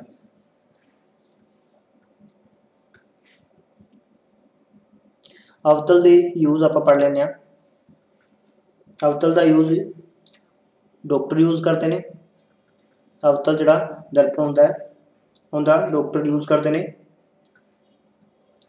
ਦੰਦਾਂ ਦੇ ਡਾਕਟਰ ਤੇ ਸੈਕਿੰਡ ਹੈਗਾ ਇਹਦਾ ਯੂਜ਼ ਜਿਹੜੀ ਗੱਡੀ ਦੇ ਹੈਡਲਾਈਟ ਤੇ ਸਰਚ ਲਾਈਟ ਵਿੱਚ। ਗੱਡੀ ਦੇ ਹੈਡਲਾਈਟ ਤੇ ਜਿਹੜੀ ਸਰਚ ਲਾਈਟ ਹੁੰਦੀ ਹੈ ਉਸ ਵਿੱਚ ਇਹਦਾ ਯੂਜ਼ ਹੁੰਦਾ ਹੈ। ਥਰਡ ਪੁਆਇੰਟ ਹੈਗਾ ਸੋਲਰ ਕੁੱਕਰ 'ਚ। ਸੋਲਰ ਕੁੱਕਰ 'ਚ ਵੀ ਇਹਦਾ ਯੂਜ਼ ਜਿਹੜਾ ਹੁੰਦਾ ਨੈਕਸਟ ਹੈਗਾ ਜਿਹੜੇ ਦਾੜੀ ਬਣਾਉਣ ਵਾਲੇ ਦਰਪਣ ਹੁੰਦੇ ਨੇ ਦਾੜੀ ਬਣਾਉਣ ਵਾਲੇ ਦਰਪਣ ਜਿਹੜੇ ਨਾਈ ਯੂਜ਼ ਕਰਦੇ ਨੇ, ਉਹ ਵੀ ਕੀ ਹੈ, ਗੋਲਾਕਾਰ ਦਰਪਣ ਯੂਜ਼ ਕਰਦੇ ਨੇ, ਅਵਤਲ ਦਰਪਣ। ਅਵਤਲ ਦਰਪਣ ਜਿਹੜਾ ਯੂਜ਼ ਕਰਦੇ ਨੇ। ਉੱਤਲ ਦਰਪਣ ਦੇ ਜਿੰਨੇ ਵੀ ਯੂਜ਼ ਨੇ, ਉਹ ਤੁਸੀਂ ਇਸ ਵੀਡੀਓ ਦੇ ਕਮੈਂਟ ਬਾਕਸ 'ਚ ਦੱਸੋਗੇ। ਤੇ ਜੇਕਰ ਦੋਸਤੋ ਤੁਹਾਨੂੰ ਵੀਡੀਓ ਚੰਗੀ ਲੱਗ ਰਹੀ ਹੈ, ਤਾਂ ਵੀਡੀਓ ਨੂੰ ਲਾਈਕ ਕਰੋ ਤੇ ਜ਼ਿਆਦਾ ਤੋਂ ਜ਼ਿਆਦਾ ਸ਼ੇਅਰ ਕਰੋ। ਮੈਂ ਇਹ ਗੱਲ ਭੁੱਲ ਜਾਣਾ ਬਾਰ-ਬਾਰ ਨਹੀਂ ਕਹਿੰਦਾ ਵੀਡੀਓ ਨੂੰ ਲਾਈਕ ਕਰੋ ਤੇ ਜ਼ਿਆਦਾ ਤੋਂ ਜ਼ਿਆਦਾ ਸ਼ੇਅਰ ਕਰੋ। ਕਿਉਂਕਿ ਤੁਹਾਡੇ ਇੱਕ ਇੱਕ ਲਾਈਕ ਦੇ ਨਾਲ ਮੈਨੂੰ ਹੌਸਲਾ ਮਿਲਦਾ ਹੈ ਵੀਡੀਓ ਬਣਾਉਣ ਦਾ। ਤੇ ਕਮੈਂਟ ਕਰਕੇ ਜਰੂਰ ਦੱਸਿਆ ਕਰੋ ਕਿ ਤੁਹਾਨੂੰ ਵੀਡੀਓ ਕਿਸ ਤਰ੍ਹਾਂ ਲੱਗ ਰਹੀ ਹੈ, ਪਸੰਦ ਆ ਰਹੀ ਹੈ ਜਾਂ ਨਹੀਂ ਆ ਰਹੀ ਤੇ ਕੀ ਕੁਝ ਮੈਨੂੰ ਜਿਹੜੀ ਇੰਪਰੂਵਮੈਂਟ ਕਰਨੀ ਚਾਹੀਦੀ ਹਾਂਜੀ ਨੈਕਸਟ ਪੜ੍ਹਦੇ ਆਪਾਂ। ਹਾਂਜੀ ਨੈਕਸਟ ਆਪਾਂ ਪੜਾਂਗੇ refraction of light refraction of light ਜਿਹਨੂੰ ਕਹਿੰਦੇ ਨੇ ਪ੍ਰਕਾਸ਼ ਦਾ ਅਪਵਰਤਨ ਹਾਂਜੀ ਰੀਫ੍ਰੈਕਸ਼ਨ ਆਫ ਲਾਈਟ ਕੀ ਹੁੰਦੀ ਹੈ? ਕਿ ਜਦੋਂ ਪ੍ਰਕਾਸ਼ ਦੀ ਇੱਕ ਕਿਰਨ ਵਿਰਲੇ ਮਾਧਿਅਮ ਤੋਂ ਸੰਘਣੇ ਮਾਧਿਅਮ ਵਿੱਚ ਜਾਂਦੀ ਹੈ, ਤਾਂ ਇਹ ਹੈ ਜਿਹੜੀ ਆਪਣਾ ਪਥ ਹੈ ਜਿਹੜਾ ਚੇਂਜ ਕਰ ਲੈਂਦੀ ਹੈ। ਉਹਨੂੰ ਕੀ ਕਹਿੰਦੇ ਨੇ? ਪ੍ਰਕਾਸ਼ ਦਾ ਅਪਵਰਤਨ। ਕਹਿਣ ਦਾ ਮਤਲਬ ਹੈ ਕਿ ਜਦੋਂ ਪ੍ਰਕਾਸ਼ ਇੱਕ ਮਾਧਿਅਮ ਤੋਂ ਦੂਜੇ ਮਾਧਿਅਮ ਵਿੱਚ ਐਂਟਰ ਹੁੰਦਾ ਹੈ, ਤਾਂ ਇਹ ਜਿਹੜਾ ਆਪਣਾ ਪਥ ਹੈ ਜਿਹੜਾ ਉਹ ਚੇਂਜ ਕਰ ਲੈਂਦਾ ਉਹਨੂੰ ਕਹਿੰਦੇ ਨੇ ਪ੍ਰਕਾਸ਼ ਦਾ ਅਪਵਰਤਨ। ਡਾਇਗਰਾਮ ਨਾਲ ਸਮਝਦੇ ਹਾਂ। ਜਿਵੇਂ ਆਪਾਂ ਇੱਕ ਕੱਚ ਦੀ ਸਲੈਬ ਲੈਤੀ। ਕੱਚ ਦੀ ਸਲੈਬ ਜਦੋਂ ਪ੍ਰਕਾਸ਼ ਇਸ ਸਾਈਡ ਇਸ ਵਿੱਚ ਐਂਟਰ ਹੋਵੇਗਾ, ਇਹ ਮਾਧਿਅਮ ਹੈਗਾ ਜੀ ਹਵਾ। ਆ ਹੈਗੀ ਸਲੇਬ ਯਾਨੀ ਕਿ ਆ ਹੈਗਾ ਵਿਰਲਾ ਮਾਧਿਅਮ।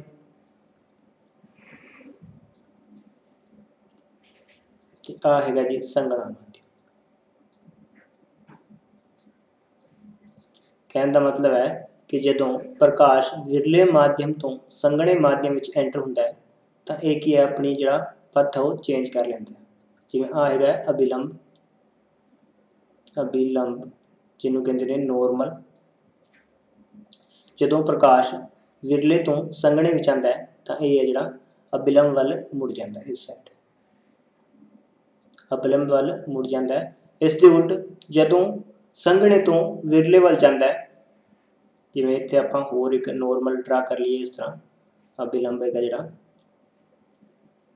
ਜਦੋਂ ਸੰਘਣੇ ਤੋਂ ਵਿਰਲੇ ਵੱਲ ਜਾਂਦਾ ਤਾਂ ਇਹ ਅਬਿਲੰਬ ਤੋਂ ਦੂਰ ਹੋ ਜਾਂਦਾ ਇਸ ਤਰ੍ਹਾਂ। ਦੋਵੇਂ ਕੇਸ ਬਣ ਕੇ ਫਿਰ ਤੋਂ ਰਿਪੀਟ ਕਰ ਦਿੰਦੇ ਆ ਕਿ ਜਦੋਂ ਪ੍ਰਕਾਸ਼ ਦੀ ਕਿਰਨ ਇੱਕ ਮਾਧਿਅਮ ਤੋਂ ਦੂਜੇ ਮਾਧਿਅਮ ਵਿੱਚ ਜਾਂਦੀ ਹੈ ਤਾਂ ਉਹ ਆਪਣਾ ਪੱਥ ਹੈ ਜਿਹੜਾ, ਉਹ ਬਦਲ ਲੈਂਦੀ ਹੈ। ਉਸ ਪਥ ਦੇ ਵਿੱਚ ਆਏ ਪਰਿਵਰਤਨ ਨੂੰ ਹੀ ਆਪਾਂ ਕੀ ਕਹਿੰਦੇ ਆ ਪ੍ਰਕਾਸ਼ ਦਾ ਅਪਵਰਤਨ। ਡਾਇਗ੍ਰਾਮ ਨਾਲ ਸਮਝੋ, ਜਦੋਂ ਪ੍ਰਕਾਸ਼ ਇੱਕ ਵਿਰਲੇ ਮਾਧਿਅਮ ਤੋਂ, ਵਿਰਲਾ ਮਾਧਿਅਮ ਆਪਾਂ ਕੀ ਲਿੱਤਾ ਹੈ? ਹਵਾ। ਹਵਾ ਤੋਂ ਕੱਚ ਦੇ ਸਲੇਬ ਵਿੱਚ ਐਂਟਰ ਹੁੰਦਾ ਹੈ। ਤਾਂ ਕੀ ਇਹ? ਨੋਰਮਲ ਵੱਲ ਮੁੜ ਜਾਂਦਾ ਹੈ। ਆ ਜਿਹੜੀ ਨੋਰਮਲ ਹੈਗੀ ਸੀ, ਤਾਂ ਇਹ ਆਪਣਾ ਜਿਹੜਾ ਪੱਥ ਹੈ ਉਹ ਚੇਂਜ ਕਰ ਲੈਂਦਾ ਨੋਰਮਲ ਵੱਲ ਮੁੜ ਜਾਂਦਾ ਹੈ। ਇਸ ਦੇ ਉਲਟ ਜੇਕਰ ਆਪਾਂ ਸੰਘਣੇ ਤੋਂ ਵਿਰਲੇ ਵੱਲ ਜਾਈਏ ਜਿਵੇਂ ਆ ਸੰਘਣਾ ਹੈ, ਸੰਘਣੇ ਤੋਂ ਵਿਰਲੇ ਵੱਲ ਜਾਈਏ, ਤਾਂ ਆ ਕੀ ਹੈ ਨੋਰਮਲ ਤੋਂ ਦੂਰ ਹੋ ਜਾਂਦਾ।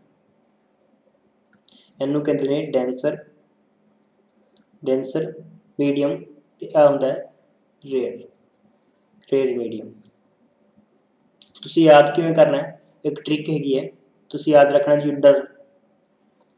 ਡਰ। ਡਰ ਤੋਂ ਕਿਵੇਂ ਯਾਦ ਰੱਖਣਾ ਜਦੋਂ ਡੈਂਸਰ ਤੋਂ ਰੇਅਰ ਜਾਵੇ। ਡੈਂਸਰ ਤੋਂ ਰੇਅਰ ਯਾਨੀ ਕਿ ਸੰਘਣੇ ਤੋਂ ਵਿਰਲੇ, ਤਾਂ ਕੀ ਹੋ ਜਾਂਦਾ ਹੈ? ਅਵੇ ਫਰੋਮ ਨੋਰਮਲ ਇਹ ਤੋਂ ਅਵੇ ਯਾਨੀ ਕਿ ਨੋਰਮਲ ਤੋਂ ਦੂਰ। ਡਰ ਤੋਂ ਆਪਾਂ ਯਾਦ ਰੱਖਣਾ ਹੈ, ਡੈਂਸਰ ਤੇ ਆ ਹੈਗਾ ਰੇਅਰ ਤੇ ਆ ਹੈਗਾ ਜੀ ਅਵੇ ਡੈਂਸਰ ਤੋਂ ਰੇਅਰ ਵੱਲ ਜਾਵੇਗਾ, ਜਦੋਂ ਵੀ ਪ੍ਰਕਾਸ਼ ਡੈਂਸਰ ਤੋਂ ਰੇਅਰ ਵੱਲ ਜਾਵੇਗਾ, ਤਾਂ ਨੋਰਮਲ ਤੋਂ ਦੂਰ ਹਟੇਗਾ। ਦੂਰ ਨੂੰ ਕਹਿੰਦੇ ਨੇ ਜੀ ਅਵੇ ਤਾਂ ਡਰ ਤੋਂ ਤੁਸੀਂ ਆ ਜਿਹੜੀ ਬਾਕੀ ਉਹ ਫਸਟ ਕੇਸ ਸੀਗਾ, ਉਹ ਤੁਹਾਨੂੰ ਯਾਦ ਹੋ ਹੀ ਜਾਏਗਾ। ਡਰ ਤੋਂ ਬਸ ਤੁਸੀਂ ਆ ਯਾਦ ਰੱਖਣਾ ਕਿ ਸੰਘਣੇ ਤੋਂ ਵਿਰਲੇ ਜਾਵੇਗਾ ਤਾਂ ਨੋਰਮਲ ਤੋਂ ਦੂਰ ਹਟੇਗਾ। ਤਾਂ ਆ ਜਿਹੜਾ ਪਰਿਵਰਤਨ ਹੁੰਦਾ, ਇਹਨੂੰ ਆਪਾਂ ਕੀ ਕਹਿੰਦੇ ਆ ਪ੍ਰਕਾਸ਼ ਦਾ ਅਪਵਰਤਨ। ਕਿ ਜਦੋਂ ਪ੍ਰਕਾਸ਼ ਦੀ ਕਿਰਨ ਇੱਕ ਮਾਧਿਅਮ ਤੋਂ ਦੂਜੇ ਮਾਧਿਅਮ ਵਿੱਚ ਐਂਟਰ ਹੁੰਦੀ ਹੈ, ਤਾਂ ਆਪਣਾ ਪਥ ਜਿਹੜਾ ਚੇਂਜ ਕਰ ਲੈਂਦੀ ਹੈ, ਉਹਨੂੰ ਕਹਿੰਦੇ ਨੇ ਪ੍ਰਕਾਸ਼ ਦਾ ਅਪਵਰਤਨ। ਇਹਦੇ ਵੀ ਦੋ ਨਿਯਮ ਨੇ। ਦੋ ਨਿਯਮ ਨੇ ਇਹਦੇ ਵੀ। ਫਸਟ ਤਾਂ ਸੇਮ ਹੈਗਾ ਉਸੇ ਤਰ੍ਹਾਂ ਕਿ ਜਿਹੜਾ ਇਹ ਜਿਹੜਾ ਜਿੰਨਾ ਵੀ ਪ੍ਰੋਸੈਸ ਹੋਵੇਗਾ ਆ ਇੱਕ ਤਲ ਤੇ ਹੋਵੇਗਾ। ਇੱਕੋ ਹੀ ਤਲ ਤੇ ਹੋਵੇਗਾ ਜਿਵੇਂ ਆਪਾਤੀ ਕਿਰਨ ਅਬਿਲੰਬ ਅਬਿਲੰਬ ਤੇ ਅਪਵਰਤਿਤ ਕਰਨ।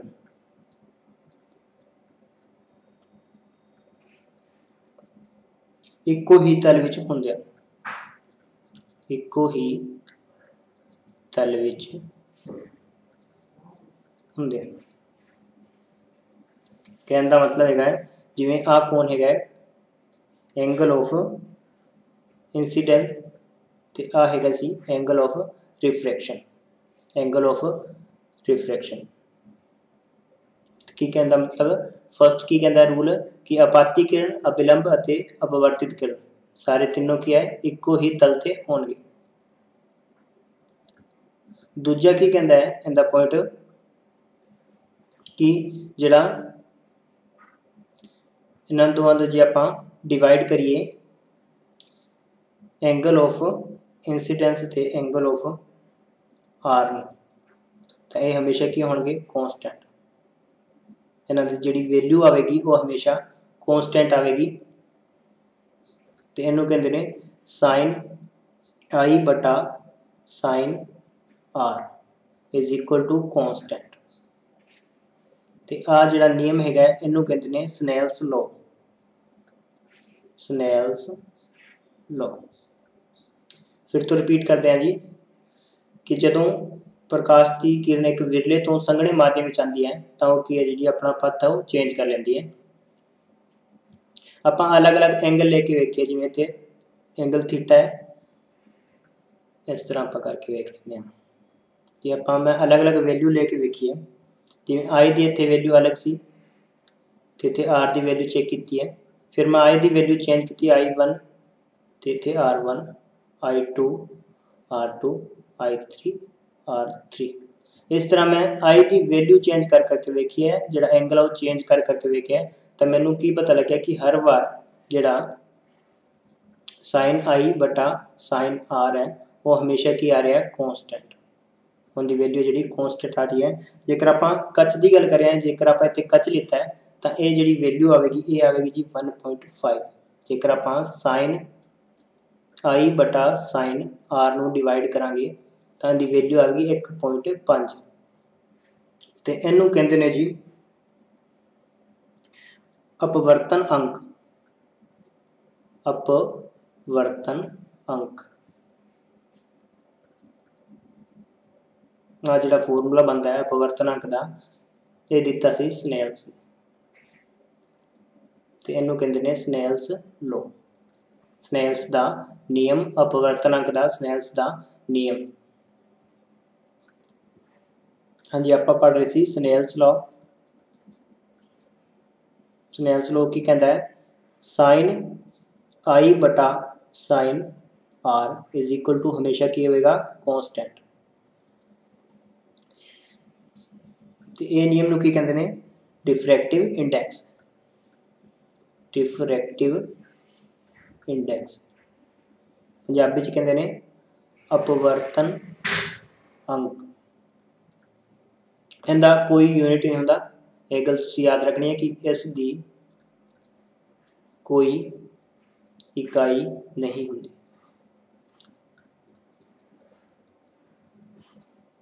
ਇਸ ਦੀ ਕੋਈ ਇਕਾਈ ਜਿਹੜੀ ਨਹੀਂ ਹੁੰਦੀ, ਤੈਨੂੰ ਆਪਾਂ ਡਿਨੋਟ ਕਿਹਦੇ ਨਾਲ ਕਰਦੇ ਹਾਂ? N ਦੇ ਨਾਲ। ਅਪਵਰਤਨਕ ਨੂੰ n ਦੇ ਨਾਲ ਡਿਨੋਟ ਕਰਦੇ ਹਾਂ। ਤੇ ਜਿਹਦਾ ਆਪਾਂ ਰਿਫ੍ਰੈਕਟਿਵ ਇੰਡੈਕਸ ਨਿਕਾਲਣਾ ਹੋਵੇ, ਜਿਵੇਂ ਆਏਗਾ ਜੀ ਗਲਾਸ ਆਏਗੀ ਹਵਾ, ਇਸ ਤਰ੍ਹਾਂ। ਜਦੋਂ ਲਾਈਟ ਆਂਦੀ ਹੈ ਗਲਾਸ ਵਿੱਚੋਂ, ਟਕਰਾ ਕੇ ਅਬਿਲੰਬ ਦੇ ਕੋਲ ਮੁੜ ਜਾਂਦੀ ਹੈ। ਆ ਮਾਧਿਅਮ ਫਸਟ ਹੈਗਾ ਤੇ ਆ ਮਾਧਿਅਮ ਸੈਕੰਡ ਹੈਗਾ। ਹਮੇਸ਼ਾ ਜੇਕਰ ਗਲਾਸ ਦਾ ਅਪਵਰਤਨਕ ਆਪਾਂ ਨਿਕਾਲਣਾ ਹੋਵੇ, ਤਾਂ ਕੀ ਹੋਵੇਗਾ? ਫਸਟ ਵੈਲਿਊ ਉਹ ਆਵੇਗੀ ਸੈਕੰਡ ਵਾਲੀ ਤੇ ਫਿਰ ਆਪਾਂ ਲਿਖਾਂਗੇ ਉੱਤੇ ਫਸਟ ਜੇਕਰ ਗਲਾਸ ਦਾ ਨਿਕਾਲਣਾ ਹੋਵੇ, ਤਾਂ ਹੇਠਾਂ ਵੈਲਿਊ ਹੋਵੇਗੀ ਸੈਕੰਡ ਮਾਧਿਅਮ ਦੀ ਤੇ ਉੱਤੇ ਹੋਵੇਗੀ ਫਸਟ ਮਾਧਿਅਮ, ਇਸ ਤਰ੍ਹਾਂ। ਗਲਾਸ ਦਾ ਅਪਵਰਤਨਾਂਕ ਕਿੰਨਾ ਹੈਗਾ ਸੀ? ਕੱਚ ਦਾ ਅਪਵਰਤਨ ਆਪਾਂ ਕੀਤਾ ਹੈ 1.5 ਕੱਚ ਦਾ ਅਪਵਰਤਨਾਂਕ ਹੁੰਦਾ ਹੈ 1.5 ਇਸ ਤੋਂ ਇਲਾਵਾ ਜੇਕਰ ਆਪਾਂ ਕਰੀਏ ਦੋ ਮਾਧਿਅਮ ਲੈ ਕੇ ਜਿਵੇਂ ਹਵਾ ਤੇ ਪਾਣੀ ਦਾ,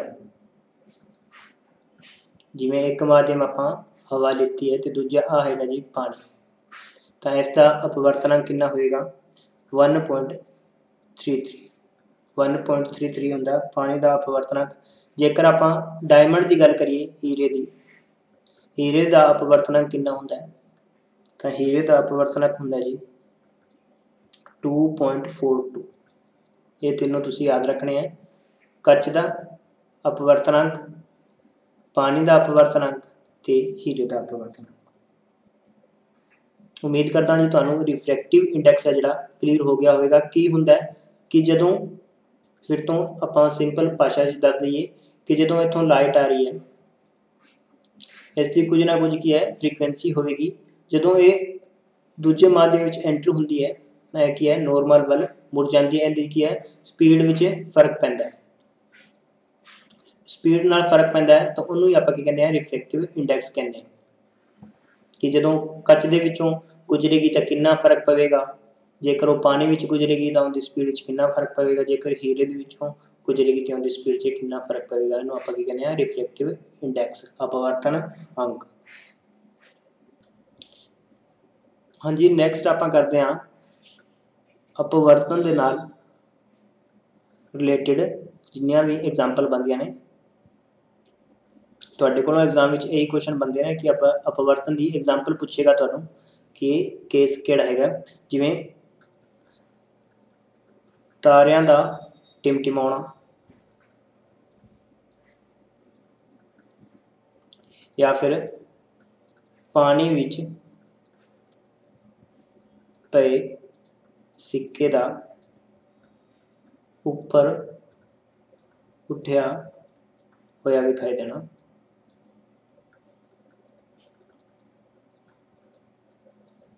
ਇਸ ਤੋਂ ਇਲਾਵਾ ਹੋਰ ਐਗਜ਼ਾਮਪਲ ਬਣਦੀ ਹੈ ਜਿਵੇਂ ਪਾਣੀ ਵਿੱਚ ਪਈ, ਛੜੀ ਜਿਹੜੀ, ਉਹ ਟੇਡੀ ਵਿਖਾਈ ਦੇਣਾ। ਤਾਂ ਇਹ ਸਭ ਕੁਝ ਕਿਹਦੇ ਕਾਰਨ ਹੁੰਦਾ ਜੀ? ਪ੍ਰਕਾਸ਼ ਦੇ ਅਪਵਰਤਨ ਦੇ ਕਾਰਨ ਹੁੰਦਾ ਹੈ। ਇਸ ਤੋਂ ਇਲਾਵਾ ਇੱਕ ਜਿਹੜੀ ਡੈਫੀਨੇਸ਼ਨ ਦੀ ਐਗਜ਼ਾਮਪਲ ਹੋਰ ਬਣਦੀ ਹੈ ਕਿ ਤੁਸੀਂ ਪੜਿਆ ਹੋਵੇਗਾ ਕਿ ਇਕਵੇਟਰ ਤੇ ਇਕੁਏਟਰ ਜਿਹੜੀ ਹੁੰਦੀ ਹੈ ਇਕੁਏਟਰ ਤੇ ਦਿਨ ਰਾਤ ਬਰਾਬਰ ਹੁੰਦੇ ਨੇ। ਦਿਨ ਰਾਤ ਬਰਾਬਰ ਹੁੰਦੇ ਨੇ। ਤਾਂ ਇਹ ਜੀ ਬਰਾਬਰ ਨਹੀਂ ਹੁੰਦੇ, ਬਿਲਕੁਲ ਨਹੀਂ ਹੁੰਦੇ। ਇਹਨਾਂ ਵਿੱਚ ਕੀ ਹੈ? 4 ਮਿੰਟ ਦਾ ਫ਼ਰਕ ਹੁੰਦਾ ਇਹ ਆਪਾਂ ਐਗਜ਼ਾਮਪਲ ਨਾਲ ਐਕਸਪਲੇਨ ਕਰਾਂਗੇ ਹੁਣੇ। ਪ੍ਰੂਫ ਕਰਾਂਗੇ ਕਿ ਇਕੁਏਟਰ ਤੇ ਜਿਹੜੇ ਦਿਨ ਰਾਤ ਉਹ ਬਰਾਬਰ ਨਹੀਂ ਹੁੰਦੇ। ਉਹਨਾਂ ਵਿੱਚ ਕੀ ਹੈ? 4 ਮਿੰਟ ਦਾ ਜਿਹੜਾ ਗੈਪ ਹੁੰਦਾ, ਫ਼ਰਕ ਹੁੰਦਾ ਤਾਂ ਇਹ ਵੀ ਜਿਹੜਾ ਕਿਸ ਕਾਰਨ ਹੁੰਦਾ ਹੈ, ਇਹ ਵੀ ਹੁੰਦਾ ਜੀ ਪ੍ਰਕਾਸ਼ ਦੇ ਅਪਵਰਤਨ ਦੇ ਕਾਰਨ। ਤਾਂ ਇੱਕ ਇੱਕ ਕਰਕੇ ਆਪਾਂ ਸਾਰੀ ਜਿਹੜੀ ਐਗਜ਼ਾਮਪਲ ਕਰਾਂਗੇ ਹੁਣੇ। ਹਾਂਜੀ ਫਰਸਟ ਐਗਜ਼ਾਮਪਲ ਆਪਾਂ ਕਰਦੇ ਹਾਂ ਕਿ ਤਾਰੇ ਕਿਉਂ ਟਿਮਟਿਮਾਉਂਦੇ ਹੋਏ ਵਿਖਾਈ ਦਿੰਦੇ ਨੇ। ਤਾਂ ਐਗਜ਼ਾਮਪਲ ਕਰਦੇ ਹਾਂ, ਜਿਵੇਂ ਆ ਕੋਈ ਵਿਅਕਤੀ ਖੜਾ ਹੈ ਤੇ ਰਾਤ ਦਾ ਸਮੇਂ ਹੈਗਾ ਤੇ ਆ ਜਦੋਂ ਉੱਤੇ ਨੂੰ ਵੇਖਦਾ ਹੈ, ਤਾਂ ਇੱਥੇ ਨੂੰ ਸਟਾਰ ਵਿਖਾਈ ਦਿੰਦਾ ਸਟਾਰ ਹੈਗਾ। ਤੇ ਸਟਾਰ ਦੀ ਜਿਹੜੀ ਐਕਚੁਅਲ ਪੋਜੀਸ਼ਨ ਹੈਗੀ ਹੈ ਉਹ ਇੱਥੇ ਹੈਗੀ ਇੱਕ ਵਾਰੀ ਡਾਇਗਰਾਮ ਬਣਾ ਲਾਂ, ਫਿਰ ਤੁਹਾਨੂੰ ਸਮਝਾਣਾ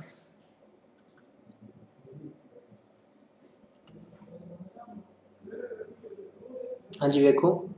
ਕਿ ਆ ਕੋਈ ਵਿਅਕਤੀ ਖੜਾ ਹੈ ਰਾਤ ਦੇ ਟਾਈਮ ਤੇ ਆ ਤਾਰਾ ਜਿਹੜਾ ਇਹਨੂੰ ਇੱਥੇ ਵਿਖਾਈ ਦੇ ਰਿਹਾ ਕਿਉਂਕਿ ਆਪਾਂ ਪੜ ਚੁੱਕੇ ਹਾਂ ਕਿ ਜਿਹੜੀ ਰੋਸ਼ਨੀ ਹੈ, ਉਹ ਕਿ ਇੱਕ ਸਿੱਧੀ ਰੇਖਾ ਵਿੱਚ ਚੱਲਦੀ ਹੈ। ਇਹਨੂੰ ਕੀ ਹੈ? ਆਪਣੀ ਅੱਖਾਂ ਦੀ ਰੋਸ਼ਨੀ ਦੀ ਗੱਲ ਕਰ ਰਿਹਾ ਮੈਂ, ਕਿ ਉਹ ਆਪਾਂ ਨੂੰ ਕੀ ਇੱਕ ਸਿੱਧੀ ਰੇਖਾ ਵਿੱਚ ਵਿਖਾਈ ਦੇਵੇਗੀ। ਜਿਵੇਂ ਸਟਾਰ ਹੈ ਇਸ ਨੂੰ ਇੱਥੇ ਵਿਖਾਈ ਦੇ ਰਿਹਾ, ਪਰ ਆ ਜਿਹੜੀ ਇਹਦੀ ਐਕਚੁਅਲ ਪੋਜੀਸ਼ਨ ਹੈਗੀ। ਐਕਚੁਅਲ ਪੋਜੀਸ਼ਨ ਹੈਗੀ ਤੇ ਆ ਆਵਾਸੀ ਹੁਣੇ ਆਪਾਂ ਪੜਿਆ ਹੈ ਕਿ ਜਦੋਂ ਪ੍ਰਕਾਸ਼ ਦੀ ਕਿਰਨ ਇੱਕ ਵਿਰਲੇ ਮਾਧਿਅਮ ਤੋਂ ਸੰਘਣੇ ਵਿੱਚ ਜਾਂਦੀ ਹੈ, ਤਾਂ ਉਹ ਅਬਿਲੰਬ ਦੇ ਵੱਲ ਮੁੜ ਜਾਂਦੀ ਹੈ। ਤੇ ਇਸ ਦੇ ਉਲਟ ਜਦੋਂ ਸੰਘਣੇ ਤੋਂ ਵਿਰਲੇ ਵੱਲ ਜਾਂਦੀ ਹੈ ਤੋਂ ਉਹ ਤੋਂ ਪਰੇ ਹਟ ਜਾਂਦੀ ਸੇਮ ਆਈ ਕੇਸ ਹੈਗਾ ਹਾਂਜੀ, ਤਾਂ ਹੁਣੇ ਆਪਾਂ ਪੜਿਆ ਸੀ ਕਿ ਜਦੋਂ ਪ੍ਰਕਾਸ਼ ਵਿਰਲੇ ਮਾਧਿਅਮ ਤੋਂ ਸੰਘਣੇ ਵਿੱਚ ਜਾਂਦਾ ਹੈ, ਤਾਂ ਉਹ ਅਬਿਲੰਬ ਦੇ ਵੱਲ ਮੁੜ ਜਾਂਦਾ ਹੈ। ਇਸੇ ਤਰ੍ਹਾਂ ਜਦੋਂ ਸੰਘਣੇ ਤੋਂ ਵਿਰਲੇ ਵੱਲ ਜਾਂਦਾ ਹੈ, ਤਾਂ ਅਬਿਲੰਬ ਤੋਂ ਪਰੇ ਹਟ ਜਾਂਦਾ ਹੈ। ਸੇਮ ਆਈ ਕੇਸ ਹੈਗਾ ਇਸ ਤਰ੍ਹਾਂ ਕਿ ਵਾਯੂਮੰਡਲ ਵਿੱਚ ਪਰਤਾਂ ਬਣੀਆਂ ਹੁੰਦੀਆਂ ਨੇ। ਤੇ ਇਸ ਵਿੱਚ ਕੀ ਹੈ, ਜਿਹੜੇ ਮਾਧਿਅਮ ਵੀ ਚੇਂਜ ਹੁੰਦੇ ਜਾਂਦੇ ਨੇ। ਲਾਈਟ ਦੇ ਜਿਹੜੇ ਮਾਧਿਅਮ ਚੇਂਜ ਹੁੰਦੇ ਜਾਂਦੇ ਨੇ ਇਸੇ ਤਰ੍ਹਾਂ ਆ ਲਾਈਟ ਹੈ ਜਿਹੜੀ, ਇਸ ਸਾਈਡ ਜਾਵੇਗੀ, ਆਪਾਂ ਨੂੰ ਵਿਖਾਈ ਦੇਵੇਗੀ, ਪਰ ਇਹਦੀ ਜਿਹੜੀ ਐਕਚੁਅਲ ਪੋਜੀਸ਼ਨ ਹੈਗੀ ਹੈ ਸਟਾਰ ਦੀ, ਉਹ ਇਸ ਸਾਈਡ ਹੈਗੀ ਤੇ ਇਸੇ ਤਰ੍ਹਾਂ ਜਿਹੜਾ ਆਪਾਂ ਨੂੰ ਤਾਰਾ ਹੈ ਜਿਹੜਾ, ਉਹ ਟਿਮਟਿਮਾਉਂਦਾ ਹੋਇਆ ਵਿਖਾਈ ਦਿੰਦਾ ਕਦੇ ਪੋਜੀਸ਼ਨ ਆ ਵਿਖਾਈ ਦਿੰਦੀ ਹੈ ਤੇ ਕਦੇ ਆ ਤੇ ਆਪਾਂ ਨੂੰ ਲੱਗਦਾ ਜਿਵੇਂ ਤਾਰਾ ਹੈ, ਉਹ ਟਿਮਟਿਮਾ ਰਿਹਾ ਨੈਕਸਟ ਐਗਜ਼ਾਮਪਲ ਨਾਲ ਕਲੀਅਰ ਕਰਦੇ ਹਾਂ। ਨੈਕਸਟ ਐਗਜ਼ਾਮਪਲ ਸੀ ਕਿ ਪਾਣੀ ਵਿੱਚ ਪਈ ਪਰਖਨਲੀ ਹੈ ਜਿਹੜੀ, ਉਹ ਸਾਨੂੰ ਟੇਡੀ ਕਿਉਂ ਵਿਖਾਈ ਦਿੰਦੀ ਹੈ? ਕਿ ਪਾਣੀ ਹੈ, ਪਾਣੀ 'ਚ ਜਿਵੇਂ ਕੋਈ ਪਰਖਣ ਪਰਖਨਲੀ ਪੜੀ ਹੈ, ਤਾਂ ਆਪਾਂ ਨੂੰ ਮਾੜੀ ਜੀ ਟੇਢੀ ਜਿਹੜੀ ਵਿਖਾਈ ਕਿਉਂ ਦਿੰਦੀ ਹੈ? ਜਾਂ ਫਿਰ ਜਾਂ ਕੋਈ ਸਿੱਕਾ ਪਿਆ ਪਾਣੀ 'ਚ, ਤਾਂ ਉਹ ਆਪਣੇ ਤਲ ਤੋਂ ਥੋੜਾ ਜਿਹਾ ਉੱਪਰ ਉੱਠਿਆ ਹੋਇਆ ਵਿਖਾਈ ਕਿਉਂ ਦਿੰਦਾ ਤਾਂ ਆ ਵੀ ਕਿਸ ਦਾ ਕਾਰਨ ਹੈਗਾ ਜੀ? ਪ੍ਰਕਾਸ਼ ਦੇ ਅਪਵਰਤਨ ਦੇ ਕਾਰਨ। ਆਪਾਂ ਹੁਣੇ ਪੜਿਆ ਕਿ ਜਦੋਂ ਪ੍ਰਕਾਸ਼ ਇੱਕ ਵਿਰਲੇ ਮਾਧਿਅਮ ਤੋਂ ਸੰਘਣੇ ਮਾਧਿਅਮ ਵਿੱਚ ਜਾਂਦਾ ਹੈ, ਤਾਂ ਉਹ ਆਪਣਾ ਜਿਹੜਾ ਪੱਥ ਉਹ ਚੇਂਜ ਕਰ ਲੈਂਦਾ ਹੈ, ਉਹਨੂੰ ਹੀ ਕੀ ਕਹਿੰਦੇ ਨੇ? ਪ੍ਰਕਾਸ਼ ਦਾ ਅਪਵਰਤਨ ਕਹਿੰਦੇ ਨੇ। ਇਸੇ ਤਰ੍ਹਾਂ ਜੇ ਆਪਾਂ ਹੋਰ ਐਗਜ਼ਾਮਪਲ ਲਈਏ ਕਿ ਸਮੁੰਦਰ ਵਿੱਚ ਜਿਹੜੇ ਮਛਵਾਰੇ ਹੁੰਦੇ ਨੇ ਜਾਂ ਫਿਰ ਤਲਾਬ ਵਿੱਚ ਜਿਹੜੇ ਮਛਵਾਰੇ ਮੱਛੀ ਫੜਦੇ ਨੇ, ਬਿਨਾਂ ਜਾਲ ਤੋਂ ਜਿਵੇਂ ਇੱਕ ਡੰਡਾ ਜਿਹਾ ਲੈ ਕੇ ਅੱਗੋਂ ਤਿੱਖਾ ਕਰਕੇ ਸਿੱਧਾ ਮੱਛੀ ਫੜ ਲੈਂਦੇ ਨੇ, ਉਹ ਕਿਸ ਤਰ੍ਹਾਂ ਫੜ ਲੈਂਦੇ ਨੇ? ਤਾਂ ਉਹ ਹੀ ਇਸ ਦੇ ਕਾਰਨ ਇਸ ਨਿਯਮ ਨੂੰ ਫੋਲੋ ਕਰਦੇ ਨੇ ਪ੍ਰਕਾਸ਼ ਦੇ ਅਪਵਰਤਨ ਨੂੰ ਕਿ ਜਿਹੜੀ ਮੱਛੀ ਆ ਉਹਨੂੰ ਥੋੜੀ ਜੀ ਉੱਪਰ ਉੱਠੀ ਜੀ ਵਿਖਾਈ ਦਿੰਦੀ ਹੈ, ਤਾਂ ਉਸੇ ਤਰ੍ਹਾਂ ਉਹ ਜਿਹੜਾ ਪਾਲਾ ਮਾਰਦੇ ਨੇ ਕਿ ਉਹ ਮੱਛੀ ਫੜੀ ਜਾਵੇ। ਇਸੇ ਤਰ੍ਹਾਂ ਆਪਾਂ ਇੱਕ ਹੋਰ ਐਗਜ਼ਾਮਪਲ ਪੜ੍ਹ ਰਹੇ ਸੀ ਕਿ ਜਿਹੜੇ ਇਕੁਏਟਰ ਤੇ ਦਿਨ ਰਾਤ ਬਰਾਬਰ ਹੁੰਦੇ ਨੇ। ਉਹਨੇ ਆਪਾਂ ਪੜ੍ਹਿਆ ਕਿ ਇਕਵੇਟਰ ਤੇ ਦਿਨ ਰਾਤ ਬਰਾਬਰ ਹੁੰਦੇ ਨੇ। ਉਹ ਸਮਝੋ ਤੁਸੀਂ ਕਿਵੇਂ? ਜਿਵੇਂ ਆ ਮਾਰਨਿੰਗ ਟਾਈਮ ਕੋਈ ਵਿਅਕਤੀ ਖੜਾ ਇੱਥੇ। ਤੇ ਹਲੇ ਗੱਲ ਕਰੀਏ ਜਿਵੇਂ ਸੂਰਜ ਉੱਗਣ ਵਾਲਾ ਹੈ, ਹਲੇ ਉੱਗਿਆ ਨਹੀਂ। ਇੱਥੇ ਹੈਗਾ ਜੀ। ਤੇ ਕੀ ਹੁੰਦਾ ਹੈ? ਸੂਰਜ ਉੱਗਣ ਤੋਂ 2 ਮਿੰਟ ਪਹਿਲੇ ਹੀ ਸਾਨੂੰ ਵਿਖਾਈ ਦੇਣਾ ਸਟਾਰਟ ਹੋ ਜਾਂਦਾ। ਜਿਵੇਂ ਇਸ ਤਰ੍ਹਾਂ। ਤੇ ਇੱਥੇ ਸੂਰਜ ਹੈ ਜਿਹੜਾ। ਪੂਰਬ ਸਾਈਡ ਹੈਗੀ ਹੈ ਜੀ। ਸੂਰਜ ਹਲੇ ਉੱਗਿਆ ਨਹੀਂ, ਪਰ ਉਸ ਤੋਂ 2 ਮਿੰਟ ਪਹਿਲਾਂ ਹੀ ਜਿਹੜਾ ਵਿਖਾਈ ਦੇਣਾ ਸਟਾਰਟ ਹੋ ਜਾਂਦਾ ਕਿਸ ਦੇ ਕਾਰਨ? ਇਹ ਹੁੰਦਾ ਜੀ ਪ੍ਰਕਾਸ਼ ਦੇ ਅਪਵਰਤਨ ਦੇ ਕਾਰਨ। ਹੁਣ ਦੇਖੋ, ਦੂਜੀ ਸਾਈਡ ਛਿਪ ਦੇ ਟਾਈਮ ਸੂਰਜ ਇੱਥੇ ਆ ਗਿਆ। ਤੇ ਆ ਛਿਪਣ ਤੋਂ ਵੀ 2 ਮਿੰਟ ਤੱਕ ਵਿਖਾਈ ਦਿੰਦਾ ਰਹੇਗਾ। ਛਿਪਣ ਦੇ ਬਾਅਦ ਵੀ ਜਿਹੜਾ ਇਸ ਵਿਅਕਤੀ ਨੂੰ 2 ਮਿੰਟ ਤੱਕ ਜਿਹੜਾ ਵਿਖਾਈ ਦਿੰਦਾ ਰਹੇਗਾ। 2 ਮਿੰਟ ਤੱਕ ਵਿਖਾਈ ਦਿੰਦਾ ਰਹੇਗਾ। ਸੇਮ ਉਹੀ ਕੇਸ ਸੀਗਾ ਜੀ ਤਾਰੇ ਵਾਲਾ। ਇਹਨੂੰ ਤੁਸੀਂ ਟੇਢਾ ਕਰਕੇ ਵੇਖੋ ਤਾਂ ਤੁਹਾਨੂੰ ਇਹ ਵੀ ਸਮਝ ਆ ਜਾਏਗਾ। ਤੇ ਇਸ ਤਰ੍ਹਾਂ 2 ਮਿੰਟ ਆ ਤੇ 2 ਮਿੰਟ ਆ 4 ਮਿੰਟ ਹੋ ਗਏ। ਆਪਾਂ ਪੜ੍ਹਦੇ ਸੀ ਕਿ ਇਕਵੇਟਰ ਤੇ ਦਿਨ ਰਾਤ ਬਰਾਬਰ ਹੁੰਦੇ ਨੇ। ਜੇਕਰ ਆਪਾਂ ਸਾਇੰਸ ਦੀ ਨਿਗਾਹ ਨਾਲ ਵੇਖੀਏ, ਤਾਂ ਇਕਵੇਟਰ ਤੇ ਦਿਨ ਰਾਤ ਜਿਹੜੇ ਬਰਾਬਰ ਨਹੀਂ ਹੁੰਦੇ, ਕਿਉਂਕਿ ਪ੍ਰਕਾਸ਼ ਦੇ ਅਪਵਰਤਨ ਦੇ ਕਾਰਨ ਇਹਨਾਂ ਵਿੱਚ 4 ਮਿੰਟ ਦਾ ਜਿਹੜਾ ਗੈਪ ਆ ਜਾਂਦਾ ਹੈ। ਸਿਰਫ ਕਿ ਐਵੇਂ ਪ੍ਰਤੀਤ ਹੁੰਦਾ ਹੈ, ਹਲੇ ਜਿਹੜਾ ਕੀ ਹੈ ਸੂਰਜ ਉੱਗੇ ਨਹੀਂ, ਪਰ ਕੀ ਹੈ, ਆਪਾਂ ਨੂੰ ਲੱਗਦਾ ਹੈ ਕਿ ਸੂਰਜ ਉੱਗ ਗਿਆ ਹੈ ਤੇ 2 ਮਿੰਟ ਦਾ ਇੱਥੇ ਗੈਪ ਆ ਜਾਂਦਾ 2 ਮਿੰਟ ਬਾਅਦ ਜਿਹੜਾ ਉੱਗਣਾ ਸਟਾਰਟ ਕਰਦਾ ਇਸੇ ਤਰ੍ਹਾਂ ਛਿਪ, ਛਿਪਣ ਦੇ ਬਾਅਦ ਵੀ 2 ਮਿੰਟ ਜਿਹੜਾ ਸੂਰਜ ਉਹ ਵਿਖਾਈ ਦਿੰਦਾ ਰਹਿੰਦਾ ਤਾਂ 4 ਮਿੰਟ ਦਾ ਗੈਪ ਆ ਜਾਂਦਾ ਤਾਂ ਇਹ ਕੇਸ ਵੀ ਕਿਸ ਦੇ ਕਾਰਨ ਹੁੰਦਾ ਹੈ, ਪ੍ਰਕਾਸ਼ ਦੇ ਅਪਵਰਤਨ ਦੇ ਕਾਰਨ ਹੁੰਦਾ ਹੈ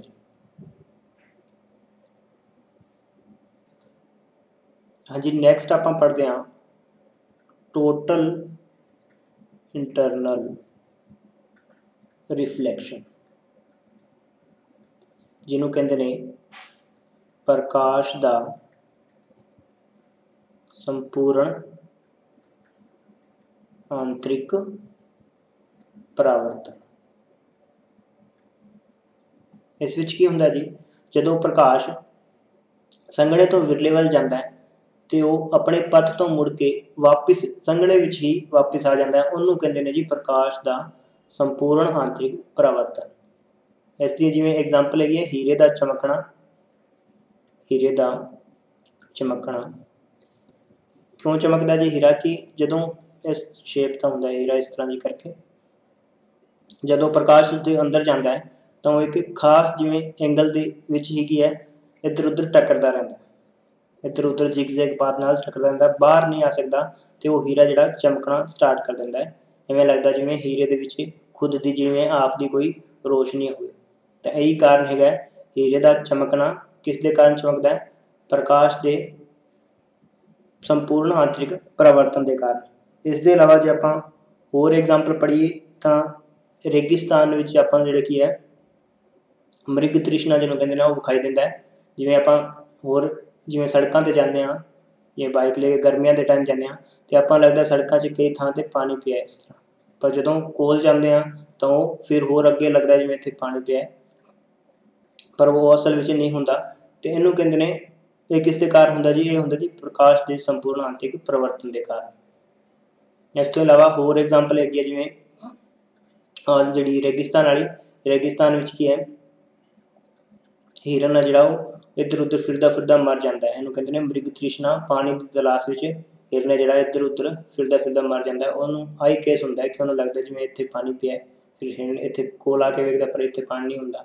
ਇਸ ਤਰ੍ਹਾਂ ਉਹ ਇੱਧਰ ਉੱਧਰ ਫਿਰਦਾ ਫਿਰਦਾ ਜਿਹੜਾ ਮਰ ਜਾਂਦਾ ਹੈ।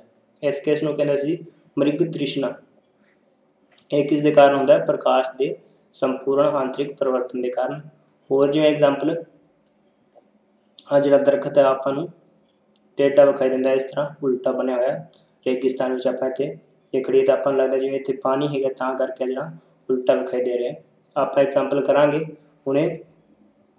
ਤੇ ਇਸ ਤੋਂ ਇਲਾਵਾ ਜਿਵੇਂ ਕੋਈ ਚਟਕਿਆ ਹੋਇਆ ਸ਼ੀਸ਼ਾ ਹੋਵੇ, ਜਿਵੇਂ ਕੋਈ ਗੱਡੀ ਹੈ, ਗੱਡੀ ਦਾ ਸ਼ੀਸ਼ਾ ਬਹੁਤ ਟੁੱਟ ਗਿਆ ਪਰ ਹਲੇ ਇਹਨੇ ਜਿਵੇਂ ਨਵਾਂ ਪਾਇਆ ਨਹੀਂ। ਤੇ ਕੀ ਹੁੰਦਾ ਜਦੋਂ ਪ੍ਰਕਾਸ਼ ਦੀ ਕਿਰਨ ਇਹਦੇ ਵਿੱਚ ਪੈਂਦੀ ਹੈ ਤਾਂ ਇਹਨੂੰ ਜਿਹੜੇ ਕਾਫੀ ਤਰ੍ਹਾਂ ਇੱਥੇ ਰੰਗ ਜਿਹੜੇ ਵਿਖਾਈ ਦੇਣੇ ਸਟਾਰਟ ਹੋ ਜਾਂਦੇ ਨੇ। ਇਹ ਕਿਸ ਦੇ ਕਾਰਨ ਹੁੰਦਾ ਜੀ? ਇਹ ਵੀ ਪ੍ਰਕਾਸ਼ 'ਤੇ ਸੰਪੂਰਨ ਆਂਤਰਿਕ ਪਰਿਵਰਤਨ ਦੇ ਕਾਰਨ ਹੁੰਦਾ ਇਸ ਤੋਂ ਇਲਾਵਾ ਜੇ ਆਪਾਂ ਹੋਰ ਐਗਜ਼ਾਮਪਲ ਦੀ ਗੱਲ ਕਰੀਏ ਤਾਂ ਪਾਣੀ ਵਿੱਚ ਪਈ ਜਿਹੜੀ ਪਰਖਣ ਲਈ ਉਹ ਚਮਕੀਲੀ ਵਿਖਾਈ ਦਿੰਦੀ ਹੈ। ਪਾਣੀ ਦੇ ਵਿੱਚ ਪਰਖਣ ਲਈ ਪਈ ਹੈ, ਉਹ ਵੀ ਚਮਕੀਲੀ ਵਿਖਾਈ ਦਿੰਦੀ ਹੈ, ਉਹ ਕਿਸ ਦੇ ਕਾਰਨ ਹੁੰਦਾ ਪ੍ਰਕਾਸ਼ 'ਤੇ ਪੂਰਨ ਆਂਤਰਿਕ ਜਿਹੜਾ ਪਰਿਵਰਤਨ ਦੇ ਕਾਰਨ ਹੁੰਦਾ ਇਸ ਤੋਂ ਇਲਾਵਾ ਹਵਾ ਦੇ ਜਿਹੜੇ ਪਰੇ ਬੁਲਬੁਲੇ ਹੁੰਦੇ ਨੇ, ਉਹ ਵੀ ਚਮਕੀਲੇ ਵਿਖਾਈ ਦਿੰਦੇ ਨੇ। ਉਹ ਵੀ ਪ੍ਰਕਾਸ਼ ਦੇ ਸੰਪੂਰਨ ਆਂਤਰਿਕ ਪਰਿਵਰਤਨ ਦੇ ਕਾਰਨ ਹੁੰਦਾ ਅੱਛਾ, ਇਹ ਸਭ ਮੈਂ ਤੁਹਾਨੂੰ ਕਿਉਂ ਦੱਸ ਰਿਹਾ? ਕਿਉਂਕਿ ਇਹਨਾਂ ਤੋਂ ਇਹ ਕੁਐਸਚਨ ਬਣਨਗੇ ਕਿ ਜਿਵੇਂ ਪਾਣੀ ਦਾ ਬੁਲਬੁਲਾ ਉਹ ਚਮਕੀਲਾ ਕਿਉਂ ਦਿਖਾਈ ਦੇ ਰਿਹਾ? ਹੈ ਕਿਹਦੇ ਕਾਰਨ ਹੁੰਦਾ ਹੈ? ਆਪਸ਼ਨ ਆਣਗੇ ਪ੍ਰਕਾਸ਼ ਦੇ ਅਪਵਰਤਨ ਦੇ ਕਾਰਨ, ਪਰਿਵਰਤਨ ਦੇ ਕਾਰਨ, ਸੰਪੂਰਨ ਆਂਤਰਿਕ ਪਰਿਵਰਤਨ ਦੇ ਕਾਰਨ। ਤਾਂ ਆਪਾਂ ਪਹਿਲਾਂ ਡਿਸਕਸ ਕਰ ਲਈਏ ਕਿ ਪ੍ਰਕਾਸ਼ ਦਾ ਸੰਪੂਰਨ ਆਂਤਰਿਕ ਪਰਿਵਰਤਨ ਹੁੰਦਾ ਕੀ ਹੈ। ਤੇ ਅਗੇ ਫਾਰ ਐਗਜ਼ਾਮਪਲ ਨਾਲ ਇੱਥੇ ਵੇਖਦੇ ਹਾਂ ਐਕਸਪੈਰੀਮੈਂਟ ਕਰਕੇ। ਇੱਥੇ ਜਿਵੇਂ ਮੈਂ ਕੱਚ ਦੀ ਸਲੇਬ ਲਿੱਤੀ ਹੈ, ਇਸ ਤਰ੍ਹਾਂ ਦੀ। ਇਸ ਤਰ੍ਹਾਂ ਗੋਲ ਸ਼ੇਪ ਦੀ ਕੱਚ ਦੀ ਸਲੇਬ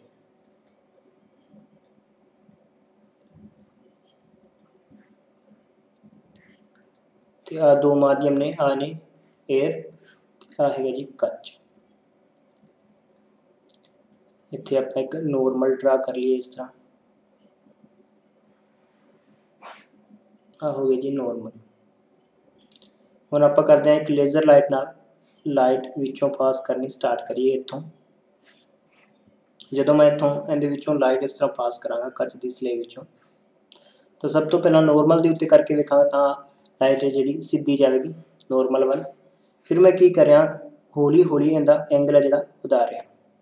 ਹੁਣ ਆ ਜਿਹੜੀ ਲਾਈਟ ਹੈ, ਉਹ ਇੱਥੋਂ ਪਾਸ ਕਰਨੀ ਸਟਾਰਟ ਕਰਦੀ ਤੇ ਆਪਾਂ ਹੁਣੇ ਪੜਿਆ ਸੀ ਕਿ ਜਦੋਂ ਪ੍ਰਕਾਸ਼ ਇੱਕ ਸੰਘਣੇ ਮਾਧਿਅਮ ਤੋਂ ਵਿਰਲੇ ਵੱਲ ਜਾਂਦਾ ਤਾਂ ਨੋਰਮਲ ਤੋਂ ਪਰੇ ਹਟ ਜਾਂਦਾ ਇਸ ਤਰ੍ਹਾਂ।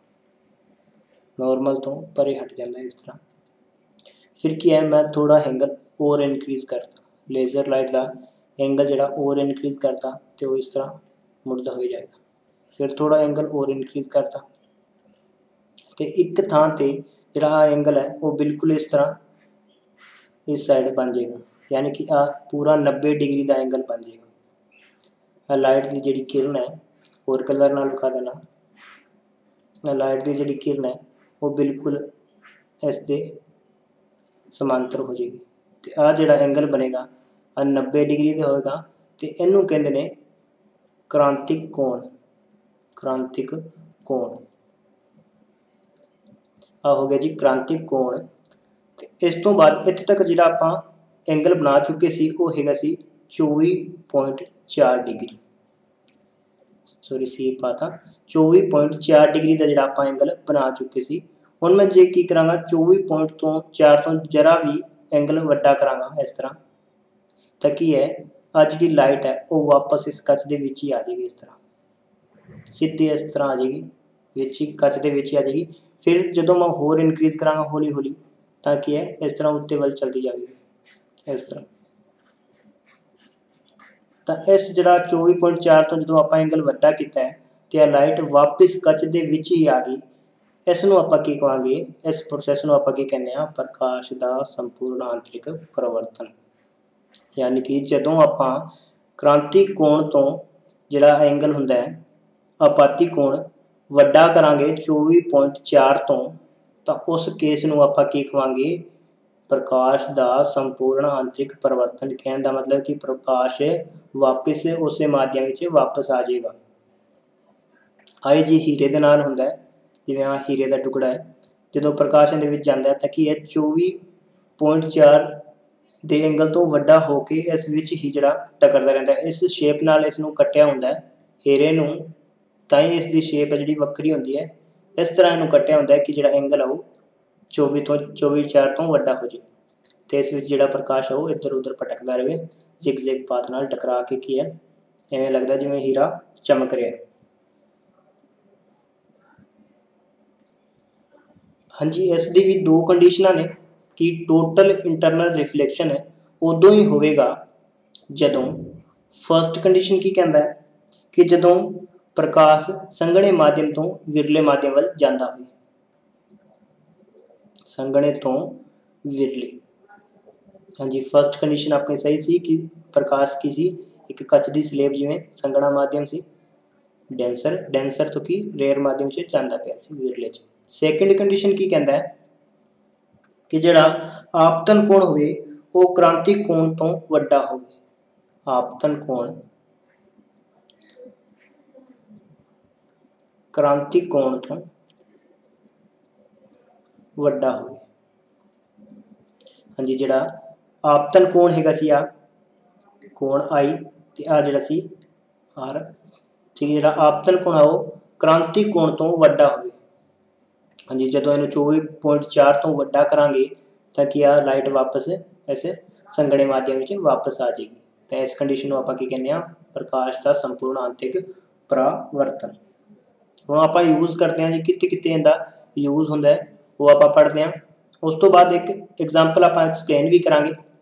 ਵਧੀਆ ਜੀ ਐਗਜ਼ਾਮਪਲ ਆਪਾਂ ਐਕਸਪਲੇਨ ਕਰਾਂਗੇ ਕਿ ਉਸ ਤੋਂ ਤੁਹਾਨੂੰ ਪੂਰਾ ਕਲੀਅਰ ਹੋ ਜਾਏਗਾ ਪੂਰਨ ਆਂਤਿਕ ਪਰਿਵਰਤਨ ਹੁੰਦਾ ਕੀ ਹੈ। ਹਾਂਜੀ, ਪਹਿਲਾਂ ਇਹਦੀ ਐਗਜ਼ਾਮਪਲ ਪੜ੍ਹ ਲਈਏ। ਹੀਰੇ ਦਾ ਚਮਕਣਾ। ਸੈਕਿੰਡ ਸੀ। ਕੱਚ ਦਾ ਚਟਕਿਆ ਹੋਇਆ ਹਿੱਸਾ ਜਿਹੜਾ ਚਮਕਦਾਰ ਵਿਖਾਈ ਦੇਣਾ ਚਟਕਿਆ ਹੋਇਆ ਹਿੱਸਾ ਚਮਕਦਾਰ ਵਿਖਾਈ ਦੇਣਾ। ਜਿਵੇਂ ਕਿ ਆਪਾਂ ਕੋਈ ਕਰੇ ਜਿਵੇਂ ਸ਼ੀਸ਼ਾ ਟੁੱਟ ਜਾਂਦਾ ਹੈ, ਤਾਂ ਉਸ ਵਿੱਚ ਜਦੋਂ ਲਾਈਟ ਪੈਂਦੀ ਹੈ ਤਾਂ ਉਹ ਛੋਟੇ ਛੋਟੇ ਟੁਕੜੇ ਜਿਹੜੇ ਚਮਕਦਾਰ ਵਿਖਾਈ ਦਿੰਦੇ ਨੇ। ਐਵੇਂ ਲੱਗਦਾ ਜਿਵੇਂ ਕਿ ਲਾਈਟ ਪਈ ਹੋਈ ਹੈ, ਛੋਟੇ ਛੋਟੇ ਲਾਈਟ ਦੇ ਕਣ ਪਏ ਹੋਣ ਇਸ ਤਰ੍ਹਾਂ। ਤਾਂ ਇਹ ਕਿਸ ਤਰ੍ਹਾਂ ਕਿਸ ਦੇ ਕਾਰਨ ਹੁੰਦਾ ਜੀ? ਇਹ ਵੀ ਸੰਪੂਰਨ ਆਂਤਰਿਕ ਪਰਿਵਰਤਨ ਦੇ ਕਾਰਨ ਹੁੰਦਾ ਨੈਕਸਟ ਜਿਹੜੀ ਇਹਦੀ ਐਗਜ਼ਾਮਪਲ ਹੈਗੀ ਆ, ਜਿਵੇਂ ਰੇਗਿਸਤਾਨ ਵਿੱਚ ਮਰਚਿਕਾ ਦਿਖਾਈ ਦੇਣਾ ਰੇਗਿਸਤਾਨ ਵਿੱਚ ਮਰਚਿਕਾ ਦਾ ਵਿਖਾਈ ਦੇਣਾ ਇਸ ਤੋਂ ਇਲਾਵਾ ਪਾਣੀ ਦੇ ਬੁਲਬੁਲੇ ਦਾ ਚਮਕਣਾ। ਹੋਰ ਪਾਣੀ ਵਿੱਚ ਪਈ ਪਰਖ ਨਲੀ ਦਾ ਚਮਕਣਾ। ਇਸ ਤੋਂ ਇਲਾਵਾ ਜਿਵੇਂ ਇਹਦੀ ਐਗਜ਼ਾਮਪਲ ਹੋ ਰਹੀ ਹੈ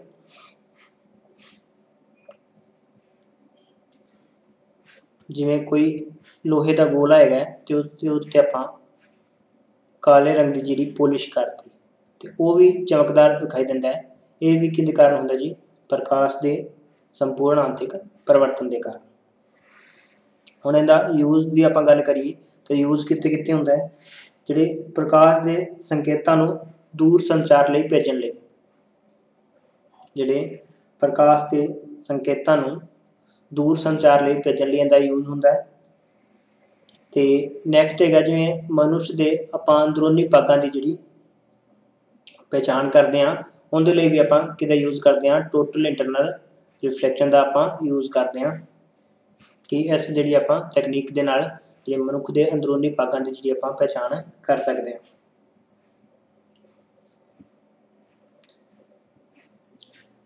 ਹਾਂਜੀ। ਟੋਟਲ ਇੰਟਰਨਲ ਰਿਫਲੈਕਸ਼ਨ ਦੀ ਆਪਾਂ ਐਗਜ਼ਾਮਪਲ ਲੈ ਰਹੇ ਹਾਂ, ਮਿਰਾਜ ਵਾਲੀ। ਮਿਰਾਜ, ਜਿਹਨੂੰ ਕਹਿੰਦੇ ਨੇ ਮਰਚਿਕਾ ਦਾ ਦਿਖਾਈ ਦੇਣਾ, ਉਹ ਕਿਹਦੇ ਕਾਰਨ ਹੁੰਦਾ ਹੈ? ਟੋਟਲ ਇੰਟਰਨਲ ਰਿਫਲੈਕਸ਼ਨ ਦੇ ਕਾਰਨ ਹੁੰਦਾ ਹੈ। ਹੁਣ ਆਪਾਂ ਕਲੀਅਰ ਕਰਦੇ ਹਾਂ।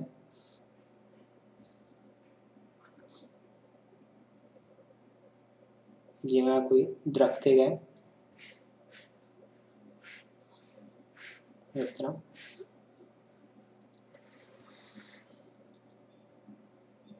ਤੇ ਇੱਥੇ ਆਪਾਂ ਇੱਕ ਮਨੁੱਖੀ ਅੱਖ ਬਣਾ ਲਈ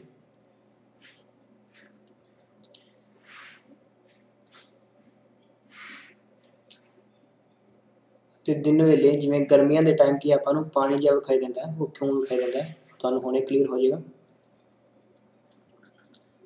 ਦਿਨ ਦਾ ਸਮਾਂ ਤੇ ਇੱਥੇ ਕੀ ਹੈ? ਹਵਾ ਕੀ ਹੋਵੇਗੀ? ਗਰਮ। ਗਰਮ ਹਵਾ। ਜਿਹੜੀ ਦਿਨ ਦੇ ਸਮੇਂ ਧਰਤੀ ਤੇ ਹਵਾ ਕੀ ਹੁੰਦੀ ਜੀ?